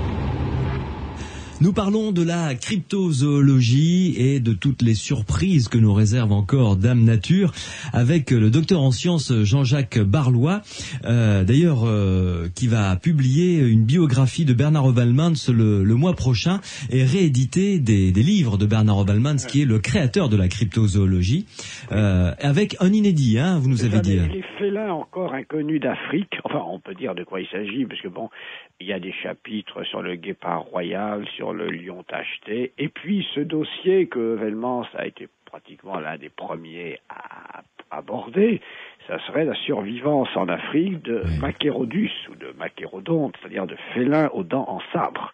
Ah bon? Et, et oui, oui, oui, eh ben, il y a tout un dossier. Écoutez, ben oui, il a rempli des centaines de pages avec ça, donc vous voyez que c'est un dossier euh, consistant. Oui, oui, oui. Et euh, Mais je les croyais disparus depuis l'ère de la préhistoire. ah bah écoutez, euh, peut-être vous trompez, je souhaite que vous vous trompiez, mais c'est ça la cryptozoologie. Alors effectivement, je reconnais que c'est très provoquant, mais il faut, euh, bah, il faut, il faut étudier les dossiers. Si vous voulez, il ne s'agit pas de croire comme ça. Bon, il y a des, euh, il y a des dossiers. Bon, si vous voulez. Par exemple, pour nous rapprocher de nos régions, il y a dans les Alpes un dossier très passionnant, c'est le Tatzelwurm. Vous savez, ça, en allemand, ça veut dire ver à pattes. Le Tatzeldurm. Tat- Le Tatzelwurm. Wurm, d'accord. Le ver à pattes. Bon, c'est ça. Alors, c'est une histoire qui dure depuis aussi très très longtemps. C'est surtout dans les Alpes suisses, autrichiennes, italiennes, etc. Et il s'agirait d'une sorte ou de gros lézards, ou plutôt de grosses salamandres. Je pense plutôt pour une salamandre parce que une salamandre pourrait être cavernicole et ça expliquerait davantage l'incognito du Tatzelwurm. Alors, Oui. il y a des foules d'histoires, des Alors, pays. ça ressemble à quoi? Décrivez-la nous, Bah, ça ressemble je veux dire, un gros ça- les descriptions varient toujours un peu. Ça ressemble, disons, à un gros lézard ou une grosse salamandre, disons, grosso modo 60 cm de long, donc un bel animal, assez trapu. Bon, euh, que les gens enfin, trouvent parfois dans, le, dans leur foin, dans leur ferme, donc Oui, parfois oui. un peu agressif. Il y a des gens qui disent avoir été attaqués. Bon, enfin ça, il faut se méfier un peu de ce genre de témoignages. Il y a, c'est dans le Piémont, je crois, une très belle histoire de la Tatzelwurm qui chaque printemps sortirait par une par une source, vous voyez. D'où peut-être effectivement euh, un mode de vie cavernicole. Bon. Oui, oui, En oui. France, pratiquement, il n'y a pas beaucoup d'affaires de ce genre. J'avais recueilli une histoire de salamandre géante à Saint-Véran, dans les Hautes-Alpes, qui paraissait assez, assez valable. Mhm. Bon, on a par-ci par-là quelques histoires de lézards géants. Bon, Vous avez Mais- parlé de serpents géants dans les Pyrénées également, oui, alors rappelle. dans les, pas seulement dans les Pyrénées, mais un peu partout en France, aussi bien dans les Alpes, en Charente, en Poitou, etc. Il y a des histoires de très grands serpents. Alors, euh, bon, une hypothèse tout à fait banale, c'est qu'il s'agit de pitons et de boas échappés d'un Oui. vivarium ou de chez quelqu'un. Bon, malheureusement il y a des gens qui en ont chez eux. Bon, mais il y a d'autres. euh, parfois, il, peut, pourrait s'agir de, de, de- soit de la couleuvre de Montpellier, soit de, la couleuvre verte et jaune, qui dans certains cas pourrait atteindre euh, une taille euh, imposante. Il y a hum, notamment dans la région du centre-ouest, donc Poitou-Charentes, l'affaire du dard ou Silan qui est décrit comme un comme un grand serpent. Alors il y a incroyables de, de- du bonhomme qui se bat avec un, qui lui coupe la tête. Enfin bon, parce que les serpents font tout de suite un peu fantasmer. Mais enfin, il y a un dossier assez intéressant avec des serpents de forte taille en France. Oui.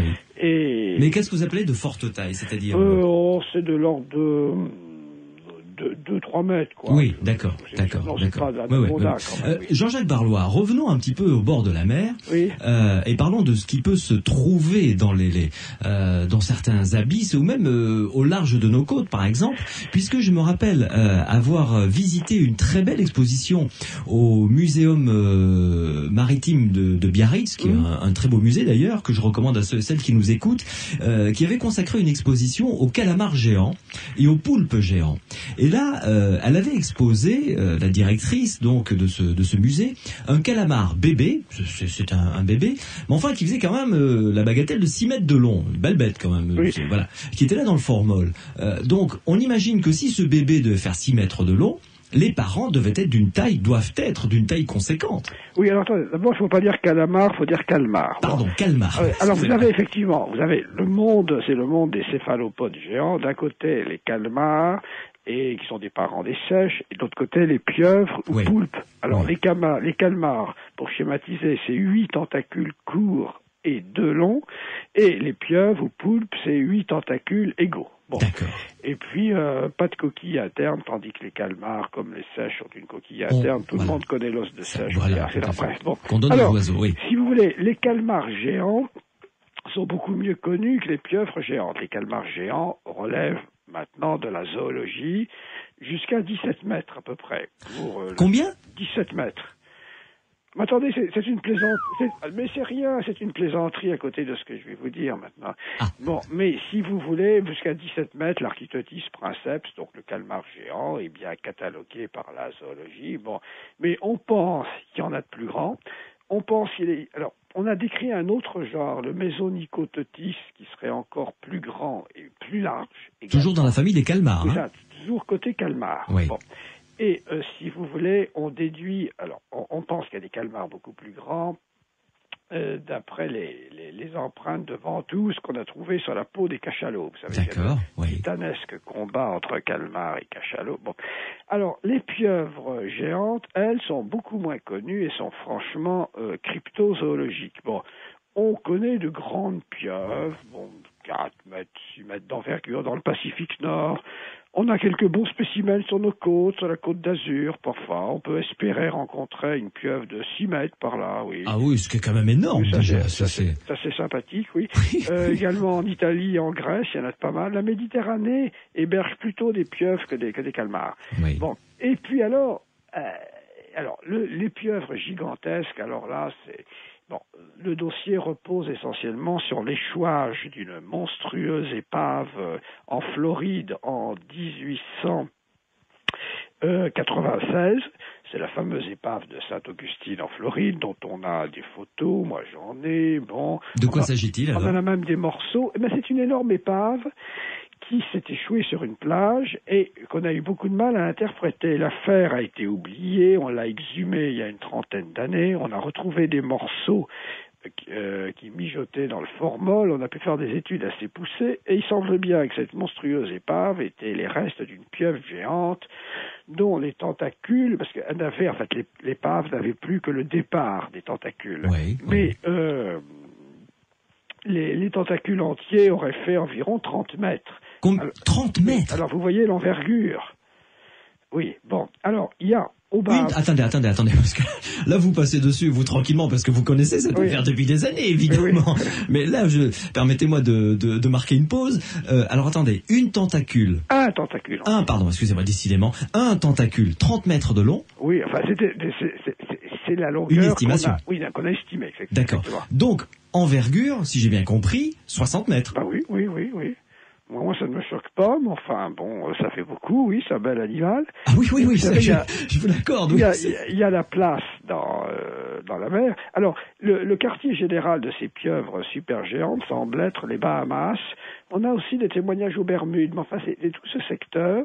Parce qu'évidemment, il y a une chose qu'on n'a pas dite, on aurait dû commencer par là, mais c'est quand on parle de pieuvres géantes, ou on parle de serpents de mer, ou de monstres lacus, Oui. il ne peut pas y en avoir qu'un. Il y a beaucoup de gens qui croient ça, mais non. S'il y a une pieuvre de 60 mètres d'envergure, c'est qu'il y en a d'autres. Elle ne peut pas être toute seule. Elles se reproduisent, Il faut évidemment. qu'il y ait- Il faut qu'il y ait une population, évidemment. Bon. Alors là, si vous voulez, euh, euh, mon ami Michel Rénal, bien connu comme, comme cryptozoologiste, est un passionné des, des pieuvres géantes. Bon. Il y a tout un, tout un dossier, effectivement. Alors, pourquoi connaît-on mieux les calmars géants que les pieuvres géantes? Parce que leur écologie est différente. Ils voguent en pleine mer, donc ils peuvent s'échouer plus facilement. Oui. Et l'étude des calmars géants repose essentiellement sur des échouages. euh, Il y en a eu en Norvège, à Terre-Neuve, etc. Oui, là on en est sûr. Je veux dire, Oui, comme vous ça. nous l'avez dit tout à l'heure, c'est du domaine de la zoologie. Là maintenant, c'est acquis, quoi. Tandis que les pieuvres géantes, d'abord, semblent plus localisées, circulent beaucoup moins, vivent davantage dans les fonds, près Oui. des côtes, donc elles ne s'échouent pas de la même façon. C'est Mm, mm, c'est pas mm. le même genre de vie. Elles sont, sont ben- comme on dit, alors que les calmars sont pélagiques. Voilà. Donc là, les- le mystère reste, euh, reste presque entier, si vous voulez. Oui. Bon. Mais il n'en reste pas moins que ce cadavre qui s'est échoué donc en euh, Floride, oui. aux États-unis Oui. euh, fait se poser des questions. C'est Ah pas un absolument. cas unique, vraisemblablement. Absolument. Et puis, euh, il faut aussi rappeler que les pieuvres, comme les calmars, sont des animaux très intelligents qui euh, ont un cerveau, vous savez, en- euh, enfermé dans une capsule cartilagineuse. Bon, ils ont des yeux extrêmement développés, des yeux très semblables à ceux des, des vertébrés, très semblables aux nôtres. Ouais, ouais. Cela dit, euh, tomber entre leurs bras n'est peut-être pas ce que je vous souhaite. Non, évidemment. non, non, on va essayer d'éviter. Hmm. Non, effectivement, surtout qu'ils ont un bec de perroquet, vous savez. Alors Oui, ça, ah oui, oui, oui. Mais si vous voulez, euh, Surtout quand on voit 60 mètres de diamètre le, le, le, le Bon. bec de perroquet qu'elles ont au centre, Ah doit donc être assez. des tentacules, oui, c'est sûr. doit Alors, être extraordinaire. Si vous voulez, effectivement, alors, ça pose beaucoup de problèmes, l'existence de tels animaux, parce qu'il y a un problème, vous y faites un peu allusion de la nourriture, il faut bien qu'ils se nourrissent. Bon, Bien sûr. alors, euh, bon, bon, euh, je sais bien que du côté des Bahamas, il y a des, il y a des langoustes en grand nombre. Mais si vous voulez, la leçon de tout ça, c'est que finalement, la nature est encore puissante. On a raison de se préoccuper de sa protection. C'est vrai qu'il y a eu des destructions irrémédiables. Bon, mais si vous voulez, euh, disons qu'il y a de, il y a de beaux restes encore. Hein. Il y a encore des, et il y a encore bien des choses qui nous échappent. Et, d'ailleurs, je vais vous dire, hein, euh, ce qu'il faut souhaiter à la limite pour ces animaux, ça va un peu à l'encontre de tout ce qu'on a dit. Il faut peut-être mieux qu'on ne les découvre pas finalement. Parce Oui. que vous savez tout de suite. euh, euh, enfin bon, une pieuvre de 60 mètres, il n'y a pas tellement d'aquarium pour la mettre. C'est tranquille, oui. Nous sommes à peu près d'accord là-dessus. Oui, c'est ça. Oui, oui, oui. Mais ça peut couler un bateau comme un rien, ce genre de bestiole. Oui, oh, il y a quelques récits d'attaques euh, qui semblent assez circonstanciés. Bon, autrefois, évidemment, les marins avaient très peur de ce genre d'attaque. Euh, Jules Verne, évidemment, est aussi passé par là. Mais si vous voulez, ou- c'est sûr, c'est sûr. Mais si vous voulez, les risques sont très minimes. Bon, hein, vous savez, euh, les rencontres. Bon, il y a quelques risques un peu plus grands avec les requins, mais même aujourd'hui, vous savez qu'on se préoccupe beaucoup de la protection des requins. Je crois que l'homme, actuellement, les hommes sont beaucoup plus dangereux pour les requins que les requins ne le sont pour les Tout hommes. à c'est fait, sûr. tout à fait. c'est- Oui, oui, c'est- oui, dramatique, même le cas des requins. oui. Et alors, euh, dites-moi pour conclure, euh, Jean-Jacques Barlois, il nous reste encore euh, quelques minutes, une dizaine de minutes à, à passer ensemble. Euh, vous connaissez le monde de la cryptozoologie euh, d'une manière assez pointue euh, depuis de nombreuses années. Mm. Quel est le, le, le dossier qui vous fascine le plus? Ben, écoutez, je vous ai parlé du mosasaure, parce que le mosasaure m'a toujours particulièrement fasciné. Rappelez-nous qu'est-ce que c'est Ah, C'est ce ce, grand reptile de l'ère secondaire. voilà, ce grand euh, crocodile des mers, guillemets, quoi. c'est ça, oui, Ouais. qui naviguerait toujours, qui croiserait au large de nos côtes et ailleurs.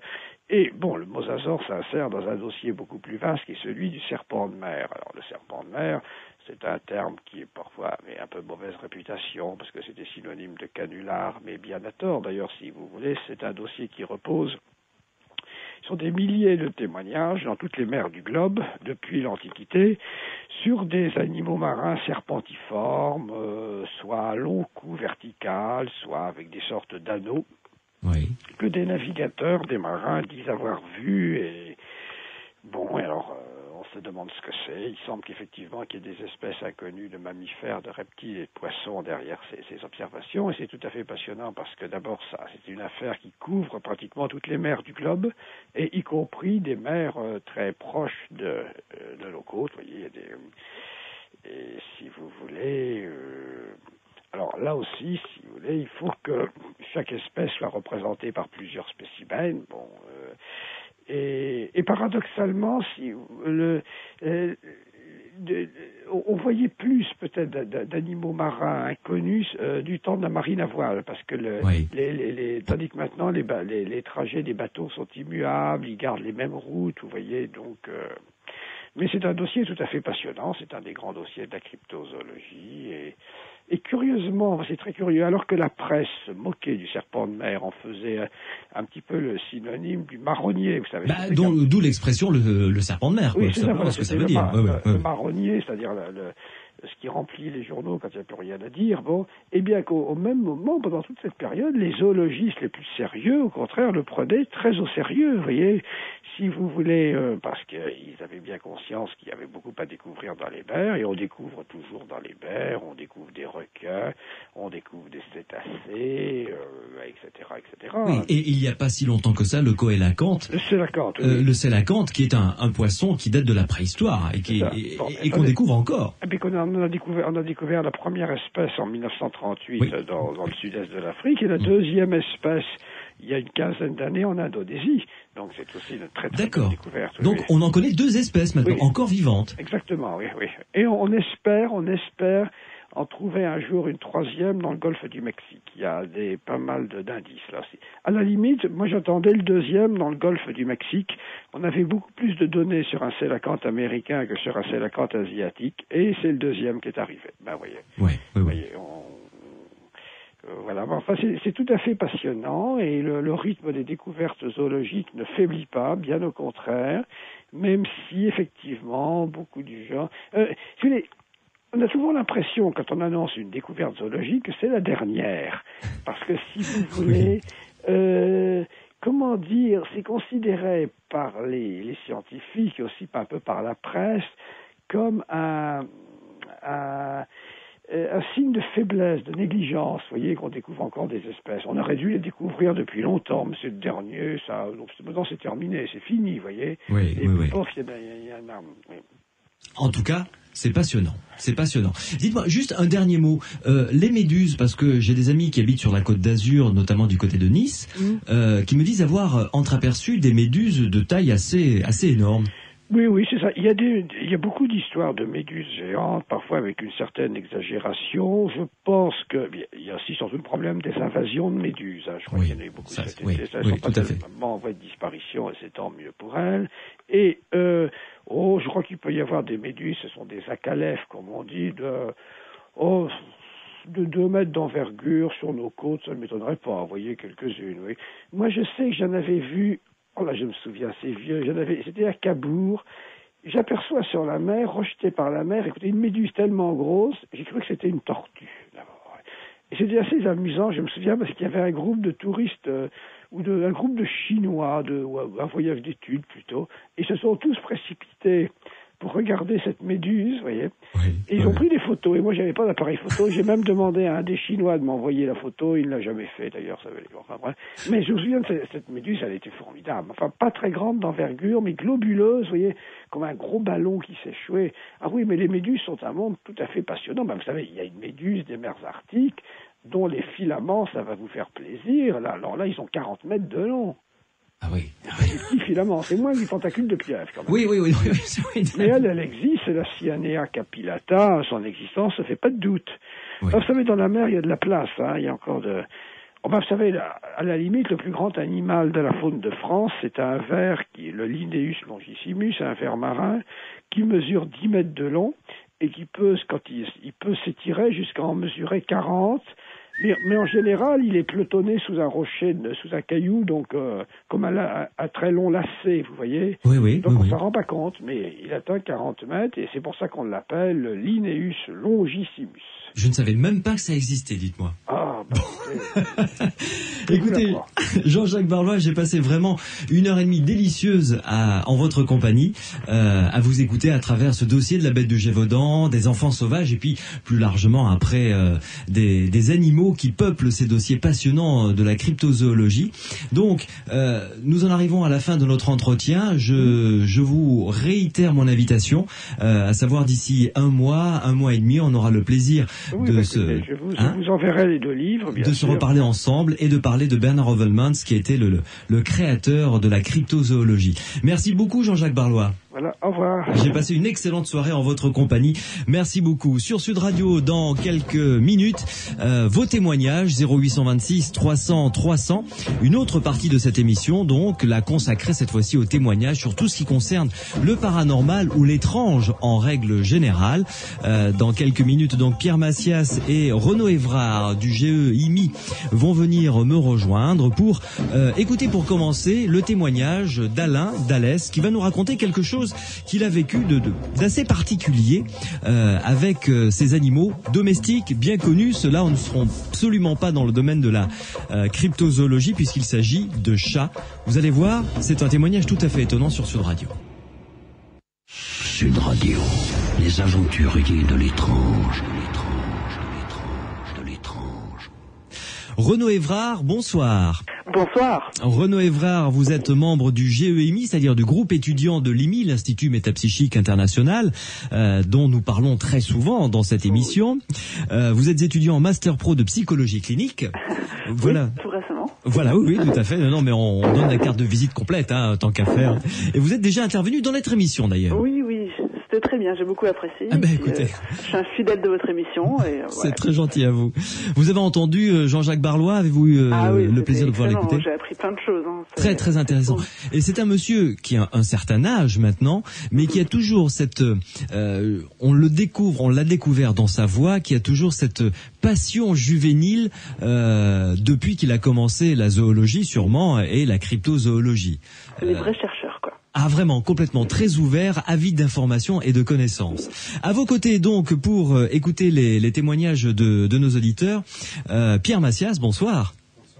Alors, euh, Pierre Massias, vous allez avoir le, le micro là dans quelques secondes. Euh, ça- va arriver. Voilà, très bien. Redites bonsoir pour voir. Bonsoir. Laurent. Voilà. Très bien. Alors vous, vous êtes informaticien. Euh, on travaille ensemble sur cette émission depuis le début, mois d'avril, hein, mois d'avril dernier. Oui, c'est ça. Euh, Voilà, oui, à peu près, hein, dans ces eaux-là. Et euh, donc, nous allons euh, accueillir euh, ensemble donc un premier témoignage. Je vous rappelle que vous pouvez nous appeler euh, à partir de maintenant au 0826 300 300 0826 300 300 si vous pensez avoir vécu quelque chose de, de particulier, d'étrange. Euh, vous avez besoin d'avoir quelques débuts de réponse ou au moins quelques éléments d'explication. Euh, C'est ce qu'a fait Alain qui nous appelle d'Alès. Bonsoir Alain. Bonsoir, oui. Ravi de vous recevoir dans les aventuriers de l'étrange. Euh, mon cher Alain, vous, euh, vous nous avez laissé un, un- un témoignage il y a quelque temps Oui. euh, concernant euh, deux animaux que vous aviez à la maison. Bien sûr, deux chats, que, deux Voilà. chats de compagnie, oui. Voilà, deux chats de compagnie que vous aviez à la maison. Et alors, racontez-nous ce qui s'est passé euh, depuis le début. Alors j'avais deux, deux chats. Ces deux chats ont avaient, avaient pratiquement le même âge. J'avais une siamoise que j'ai eue à quatre semaines. Ouais. Euh, Donc, euh, elle était proche de moi, je l'ai élevée, elle était vraiment tout le temps avec moi. Et disons que au, fil des années, bon, elle me quittait pas, hein. elle, elle- me suivait comme son ombre. Et cette chatte, je l'ai perdue euh, il y a quatre ans maintenant. Mhm. Et donc, elle avait à peu près 17, 18 ans. Ah oui, c'est un âge plus que respectable pour, euh, Oui, pour un animal. oui, oui. oui, Et donc, l'autre chat avait deux ans de moins, donc 16 ans hein, à peu près. D'accord. Et donc quand elle est décédée, quand elle est décédée, euh, donc on l'a enterrée. Et le jour de, où on l'a enterrée, j'ai voulu amener l'autre chat et l'autre chat était pétrifié. Il s'est sauvé. On pas, il était hystérique. Hein. Pourtant c'était un chat tranquille, un chat gentil. Euh, Il était complètement hystérique. J'étais obligé de, de l'emmener à la maison. Et bon.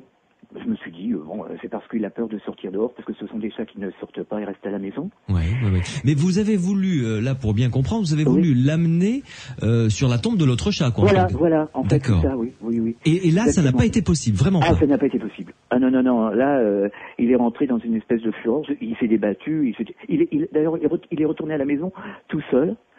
Oui, Et j'étais très surpris de sa réaction. Enfin bon.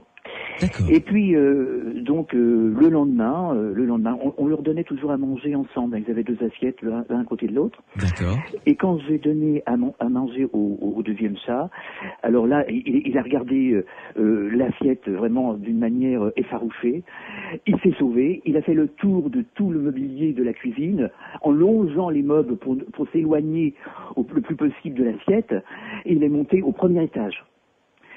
Et euh, disons que ça a duré pendant 3-4 jours. Impossible de le faire descendre, impossible de le mettre devant l'assiette. Il voulait pas. hein. À ce point-là. Euh, à ce point, à ce point-là. Et bon, une fois, il est descendu, comment il a commencé à manger, puis hop, il s'est, il s'est, comment il s'est cabré comme ça, il, il a regardé droit devant lui, il est parti. Alors, sans compter que, alors, bon, les auditeurs vont peut-être me prendre pour un fou ou un illuminé, je sais pas, mais enfin, tant pis, je vais quand même vous donner le témoignage euh, dans son ensemble. Oui, oui, oui. Donc il y a eu aussi des micro-phénomènes euh, pendant ces trois quatre jours dans la maison. C'est-à-dire qu'il y a eu euh, le téléphone qui a sonné alors qu'il était débranché. Donc j'avais un ami à l'époque qui, qui, était dans, dans un bureau et je lui dis réponds au enfin je lui dis réponds au téléphone. Et ben il me dit il est débranché le téléphone. Et le téléphone sonnait alors qu'il était débranché. Et il y a eu la disparition d'une clé. Et réapparition de la clé, je ne sais pas, dix minutes, un quart d'heure après. D'accord. Alors sur une table où il y avait rien, je cherchais cette clé, c'était cette grosse clé de campagne. euh, Oui, qui passe pas inaperçu, quoi. Oui, qui passe pas Ah. inaperçu, qui fermait un cellier.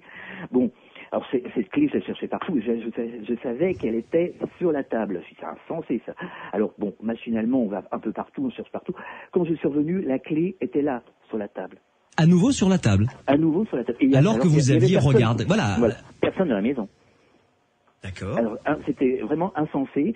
Et j'ai eu euh, donc euh, un ami euh, qui était dans la cuisine et qui m'a qui m'a dit euh, je sens des, frô- des frôlements contre la jambe, comme si un chat, vous savez, un chat qui vient se frotter. Oui, oui, c'est ce qu'ils font d'habitude d'ailleurs, oui. Voilà. Et, et donc il y a eu ces, ces quatre micro-phénomènes là pendant ces trois quatre jours où le deuxième chat a eu vraiment peur et, et il ne voulait plus venir manger. quoi. On avait l'impression, si vous voulez, on- bon c'est un peu me- ma façon de d'analyser les choses, Oui, qu'il oui. il la, la, la, la siamoise. Mais- tout à fait cet effet-là. D'accord. Et euh, ce chat, pendant ces trois jours, donc les trois jours durant lesquels se sont produits ces phénomènes dont vous nous avez parlé, Oui. n'a absolument pas voulu euh, descendre euh, manger à sa gamelle, Ah, euh, non, non. comme il le faisait d'habitude depuis des années. Oui, alors qu'il était il était le premier à venir à l'assiette. Oui, oui. Et là, non, non, euh, il a fallu au moins 5-6 jours pour que tout redevienne à peu près normal. D'accord. Ça, c'est. je ne sais pas comment on peut interpréter ça, je ne sais pas, mais enfin, toujours est-il que c'est bel et bien arrivé. D'accord. Alors euh, vous qui nous écoutez, si vous avez eu des histoires aussi comme celles que nous raconte Alain, nous rapporte Alain, euh, des histoires avec euh, des animaux, des histoires un peu étonnantes, euh, vous pouvez nous appeler 0826 300 300 pour que l'on puisse euh, en discuter. Renaud Évrard, Pierre Massias, peut-être des, des, des premières questions à Alain concernant ces... ces D'abord, la première partie du phénomène, c'est-à-dire que ce chat qui ne veut plus, enfin qui est rentré dans la cuisine et qui a, comme le dit Alain, c'est ça Alain, il a rasé les murs vraiment quoi. Il a rasé les murs, vraiment, il rasait Le mobilier. Hein, pour, Voilà. Plus loin- au- voilà. Plus loin était la gamelle et, et- et mieux Ah c'était oui. quoi, vraiment. Exactement, oui. D'abord, alors il y a eu ça et le- le- la première partie du phénomène, l'hystérie du chat qui n'a absolument pas voulu euh, qu'on l'emmène euh, sur la tombe de de, de, Voilà, de, de- de celui qui avait été son compagnon pendant des, des, des années. Ça c'est quand même surprenant. Alors que a priori, enfin, c'est la première. Excusez-moi Alain, mais je veux pas euh, dire qu'un chat c'est idiot, mais euh, il n'est pas censé savoir à ce moment-là, il n'était pas censé savoir que vous l'emmeniez euh, sur la tombe de l'autre chat, quoi. exactement, c'est ça. C'est- C'est ça, il n'était pas censé savoir. bah, a, a priori, ou peut-être qu'il l'a senti, enfin je sais pas. Renaud Évrard. Bonsoir Alain. Bonsoir. Alors euh, oui, c'est vrai que c'est intéressant comme témoignage, mais en même temps, il faut, comme vous faites, hein, il faut partager les phénomènes, essayer de voir un peu euh, quelles explications on peut apporter à l'un et à l'autre, hein, parce Ouais. que, alors, en gros, c'est une situation, la- le chat est mort et ça vous rend triste, j'imagine, assez triste. Oui, très triste. Vous-même. Mm. Oui. Et il y a des choses qu'il faut savoir parce que quand les gens rapportent des, des cas de, ben, de comportements bizarres d'animaux, généralement ces gens-là n'ont pas une formation en éthologie. Hein. C'est pas une critique, Mhm. mais la difficulté d'observer un comportement bizarre d'animaux, c'est que c'est très flou. euh, Qu'est-ce qui est bizarre euh, pour une personne Hmm. L'éthologie, c'est la science du comportement de l'animal. Hein Voilà. Oui. Et, euh, et dans ce cas-là, en fait, on peut. Il y a aussi ce problème de suggérer involontairement à l'animal la peur ou, ou faire partager son émotion avec l'animal. Donc les comportements bizarres d'animaux comme l'animal qui a eu peur quand il a senti que vous vouliez l'amener quelque part à l'extérieur pour quelque chose qui est important mais très très chargé émotionnellement pour vous, il a peut-être senti ça aussi. Les, les animaux ont, hmm, hmm. ont aussi ces capacités. on Surtout, dira. surtout que ces chats, Alain, sont, enfin, euh, ces chats, ce chat qui était, qui reste vivant, euh, est, est très proche de vous, comme l'autre d'ailleurs. Enfin, oui, D'ailleurs- il est, il est plus vivant, le pauvre. Il est décédé au mois de décembre dernier. Mhm, mhm. Euh, Mais euh, donc c'est vrai qu'ils ils- ils ont été toujours, ils étaient toujours euh, proches de moi. Ils étaient toujours avec moi. euh, Oui, il y avait une, clair. une relation affective très forte Oui, oui, quoi, avec ces animaux. absolument. Comme euh, en règle générale avec nos animaux de compagnie, tout à fait. Absolument. Mais par contre, ça explique pas, ça explique pas ce qui s'est passé dans la cuisine. Oui, euh, alors les autres choses, enfin, c'est-à-dire par exemple les frôlements, la sensation de, de, de présence, ça c'est, c'est quelque chose qui en même temps reste très subjectif. Ça, ça n'empêche pas, mais en fait ce qui se passe, c'est comme s'il y avait une, une ambiance dans votre maison suite à la mort du chat. Et c'est très chargé émotionnellement pour tout le monde. Et, et puis en plus, il y a des, des phénomènes apparemment qui se rajoutent. Et donc, euh, des- la clé qui se perd, c'est très impressionnant à chaque fois. Ça, Ah ça oui. arrive à, à beaucoup de gens. ça, c'est plutôt du côté du poltergeist, en effet. Oui, oui, oui. Et, et surtout le téléphone qui sonne en étant débranché. effectivement, Alors, oui. alors Comme, ça, euh, ça oui, ça. c'est très étonnant aussi. Ouais. Euh, oui, c'est ça, c'est plus qu'étonnant. Oui, mais euh, là, je, enfin, je, si je puis me permettre, je, je vous sens venir, euh, Renaud Évrard. Euh, c'est- c'est- euh, vous, vous pensez que ces micro-phénomènes, euh, vous, l'hypothèse vers laquelle vous pencheriez peut-être, euh, auraient été provoqués de manière inconsciente plutôt par Alain? Ben, il y, y a, il y a toujours des. Je mets les pieds dans le plat, je m'excuse, hein. Oui, par exemple, pour la clé, c'est vrai que on peut ne pas la voir à un moment et la voir ensuite sans qu'elle ait forcément disparu. Enfin, je veux dire, ça nous Ah arrive non, à là, je tous suis de, perdre des Là- objets. Oui. Là, Oui, vraiment, je- je suis sûr, je suis sûr. Elle y était pas, hein, Mm. ça c'est clair. hein. Oui. Ah oui, oui. Non, non, là, Oui, c'est- suis vraiment sûr. Oui, Parce que j'ai bien cherché la clé, j'en avais vraiment besoin. Donc, Ouais, euh, ouais. ça, je suis sûr Non, mais je ne remets pas en, en cause. euh, simplement, c'est vrai qu'on ne peut pas apporter d'explication. Ah non. votre vécu. Et, euh, c'est vrai que ce qu'il faut comprendre maintenant, c'est l'importance que ça a eu pour vous dans votre manière de, de faire le deuil de votre chat. Parce que ça, ça peut paraître idiot pour plein de gens, mais c'est c'est quand même quelque chose de, ben, de difficile parfois. Oui, bien sûr. Bah oui, quand on perd un animal de compagnie, 16 ans, vous vous rendez compte euh, euh, 17 ou, Ah oui. ou, ou 18 ans, m'avez-vous dit, Alain hein, 18 ans, bon. 18 ans, oui. 18 ans, oui, c'est quand même pas, c'est quand même pas une paille. Pierre Massias. Oui, euh, j'ai pensé à la même, euh, aux mêmes idées que Renaud, en fait, Hmm. sur le comportement du chat, sur le ressenti du chat, de, de, de, de, de l'ambiance, de l'environnement, de la, enfin, de vous, Alain, qui, euh, qui étiez euh, très euh, chagriné de la perte de, de cet animal. Le, votre chat l'a ressenti, c'est sûr. Oui. Bon, il, il aura eu un comportement. Il y a, il y a aussi autour des, des assiettes, autour de- du comportement dans la maison, une idée euh, de, de hiérarchie de groupe. De Tout à l'heure, je me demandais si le, euh, le chat restant, le chat vivant, Hmm. euh, était, euh, devait laisser euh, le chat défunt euh, se nourrir en premier. S'il y avait une, voilà, une hiérarchie. de groupe dans un groupe de deux chats. Alain, Non, pas spécialement. d'accord. Non, non, non, non, pas Bah- spécialement. Et alors, il y a un petit détail, un petit détail, c'est qu'à un moment donné, le chat est venu, il a commencé à manger, puis hop, il, il a sursauté, et c'est là qu'il a regardé, effarouché, et il est parti vraiment euh, instantanément. Mhm. Comme s'il avait euh, vu venir l'autre chat, quoi. Exactement. J'ai étudié pendant trois ou quatre jours ce, et puis impossible, ce, ce phénomène est impossible de, de lui faire entendre raison. Mais je lui ai dit, viens, viens manger. Enfin, c'est, non, non, il, il voulait pas, il était, on voyait qu'il était effarouché, quoi. Oui, oui, oui, oui. Et oui, après, après quelques jours après, il, attend, il, a, il a fallu attendre cinq, six jours, sept jours, je crois, et tout est rentré dans l'ordre tout doucement. C'est comme si le chat euh, vivant avait vu le chat décédé finalement, Pierre Massias. c'est cette impression. Ouais. Oui, ça donne cette impression. Ça me fait terriblement penser à du poltergeist animal. J'ai pas en tête des, euh, des exemples concrets, de d'autres exemples en- de cas. Oui. Je ne sais pas si Renaud, à travers la documentation de l'EMI, euh, pense à quelque chose. Pas spécialement là, mais Oui, Mais oui, oui. Ça me paraît intéressant. Ça peut être un poltergeist, un, un phénomène de genre poltergeist Oui, oui. euh, généré par Alain, Hmm, mais pourquoi pas par l'animal aussi. oui. Euh, Et là, c'est innovant, c'est- c'est c'est original comme témoignage. Ouais. Alain, euh, en ce qui concerne la personne euh, qui était dans votre cuisine et qui a senti les, les frôlements sur les jambes, vous savez, Oui. euh, qu'est-ce qu'elle vous a dit euh, Eh elle m'a dit qu'elle avait l'impression que c'était un, un chat. euh, j'ai eu l'impression que c'était c'était c'était un chat qui qui venait sur moi. Et Qu'est-ce Il qui, m'a lui dit, faisait- hein. Oui. Qu'est-ce qui lui faisait penser à un chat, justement? Pourquoi pas un Bah, chien? Ah bah ça aurait pu être un chien.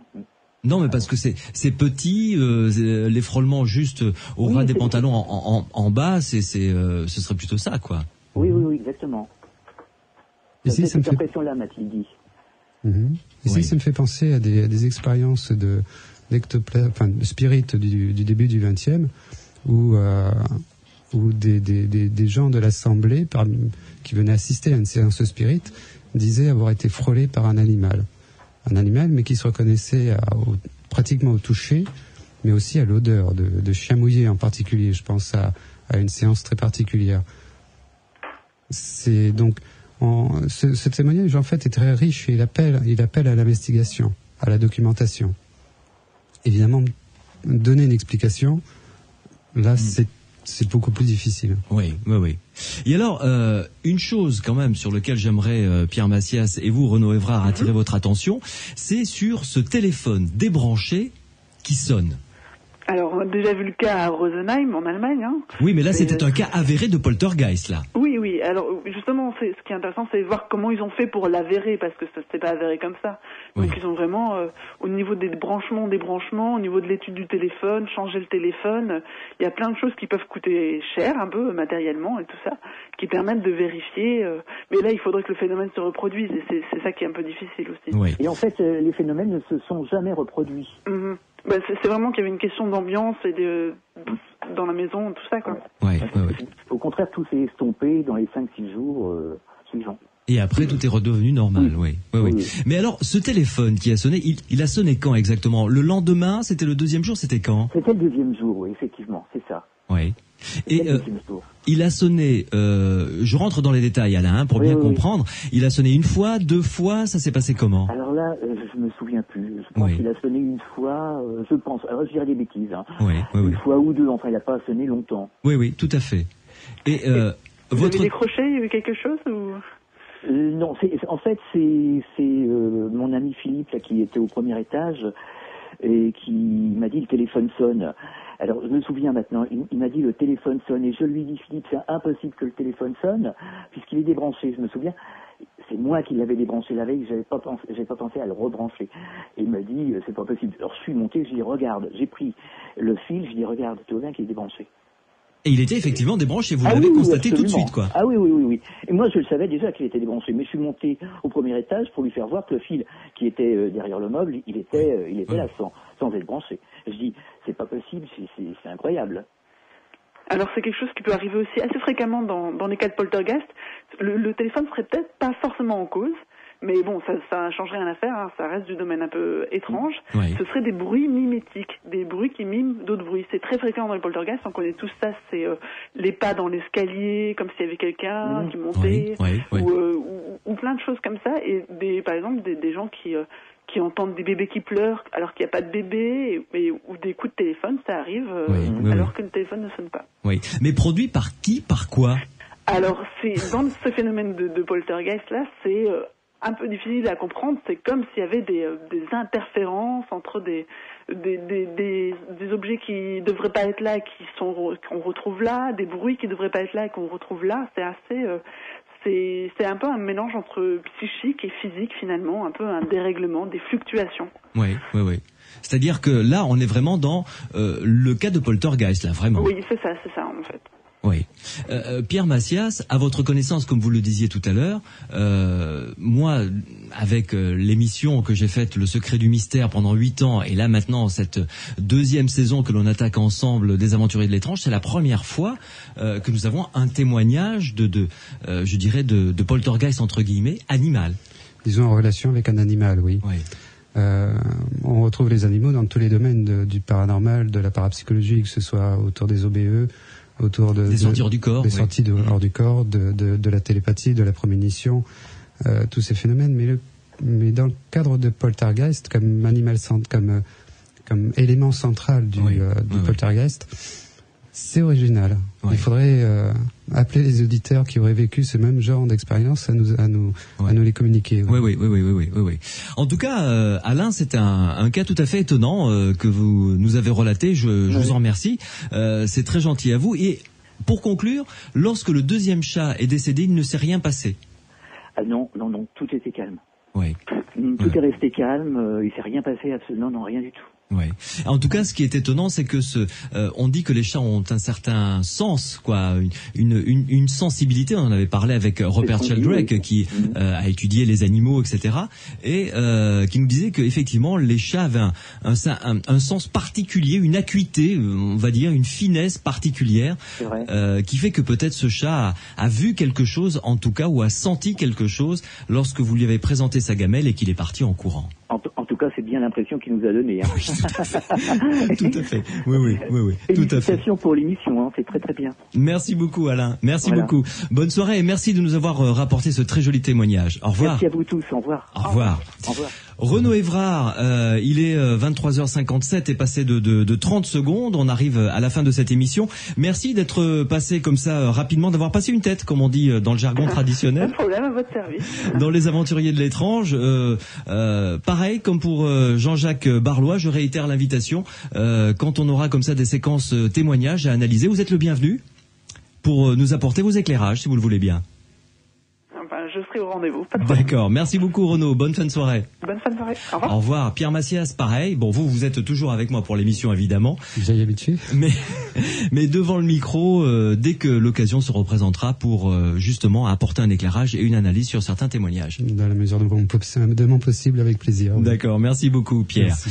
Nous en arrivons à la fin de cette euh, émission, indicatif, et ensuite je vous donne quelques pistes de témoignages à nous apporter. Sud Radio. Samedi et dimanche, 22h minuit. Louis Bénédit, les aventuriers de l'étrange.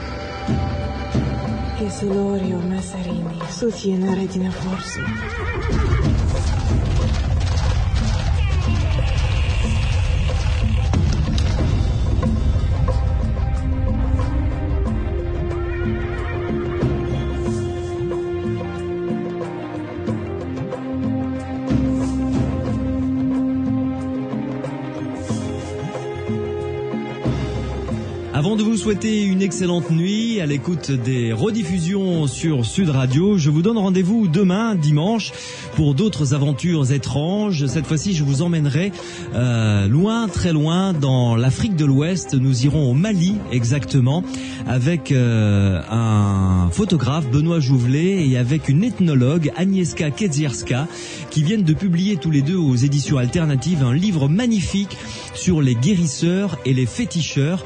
Agnieszka euh, Kedzierska a été initiée à la confrérie des chasseurs. Vous verrez que cette confrérie possède des savoirs, une philosophie ancienne, ancestrale, tout à fait étonnante, dont ils se servent pour guérir les gens, les gens qui les entourent. Nous allons donc entrer de plein pied dans un monde fascinant, le monde de l'Afrique et des guérisseurs. Rendez-vous donc demain, 22h minuit, pour les aventures de l'étrange. Et si vous avez vécu des phénomènes de sortie hors du corps ou si vous avez des anecdotes concernant la Dame Blanche, votre témoignage nous intéresse. Vous nous appelez au 0826 300 300. Bonne nuit et à demain.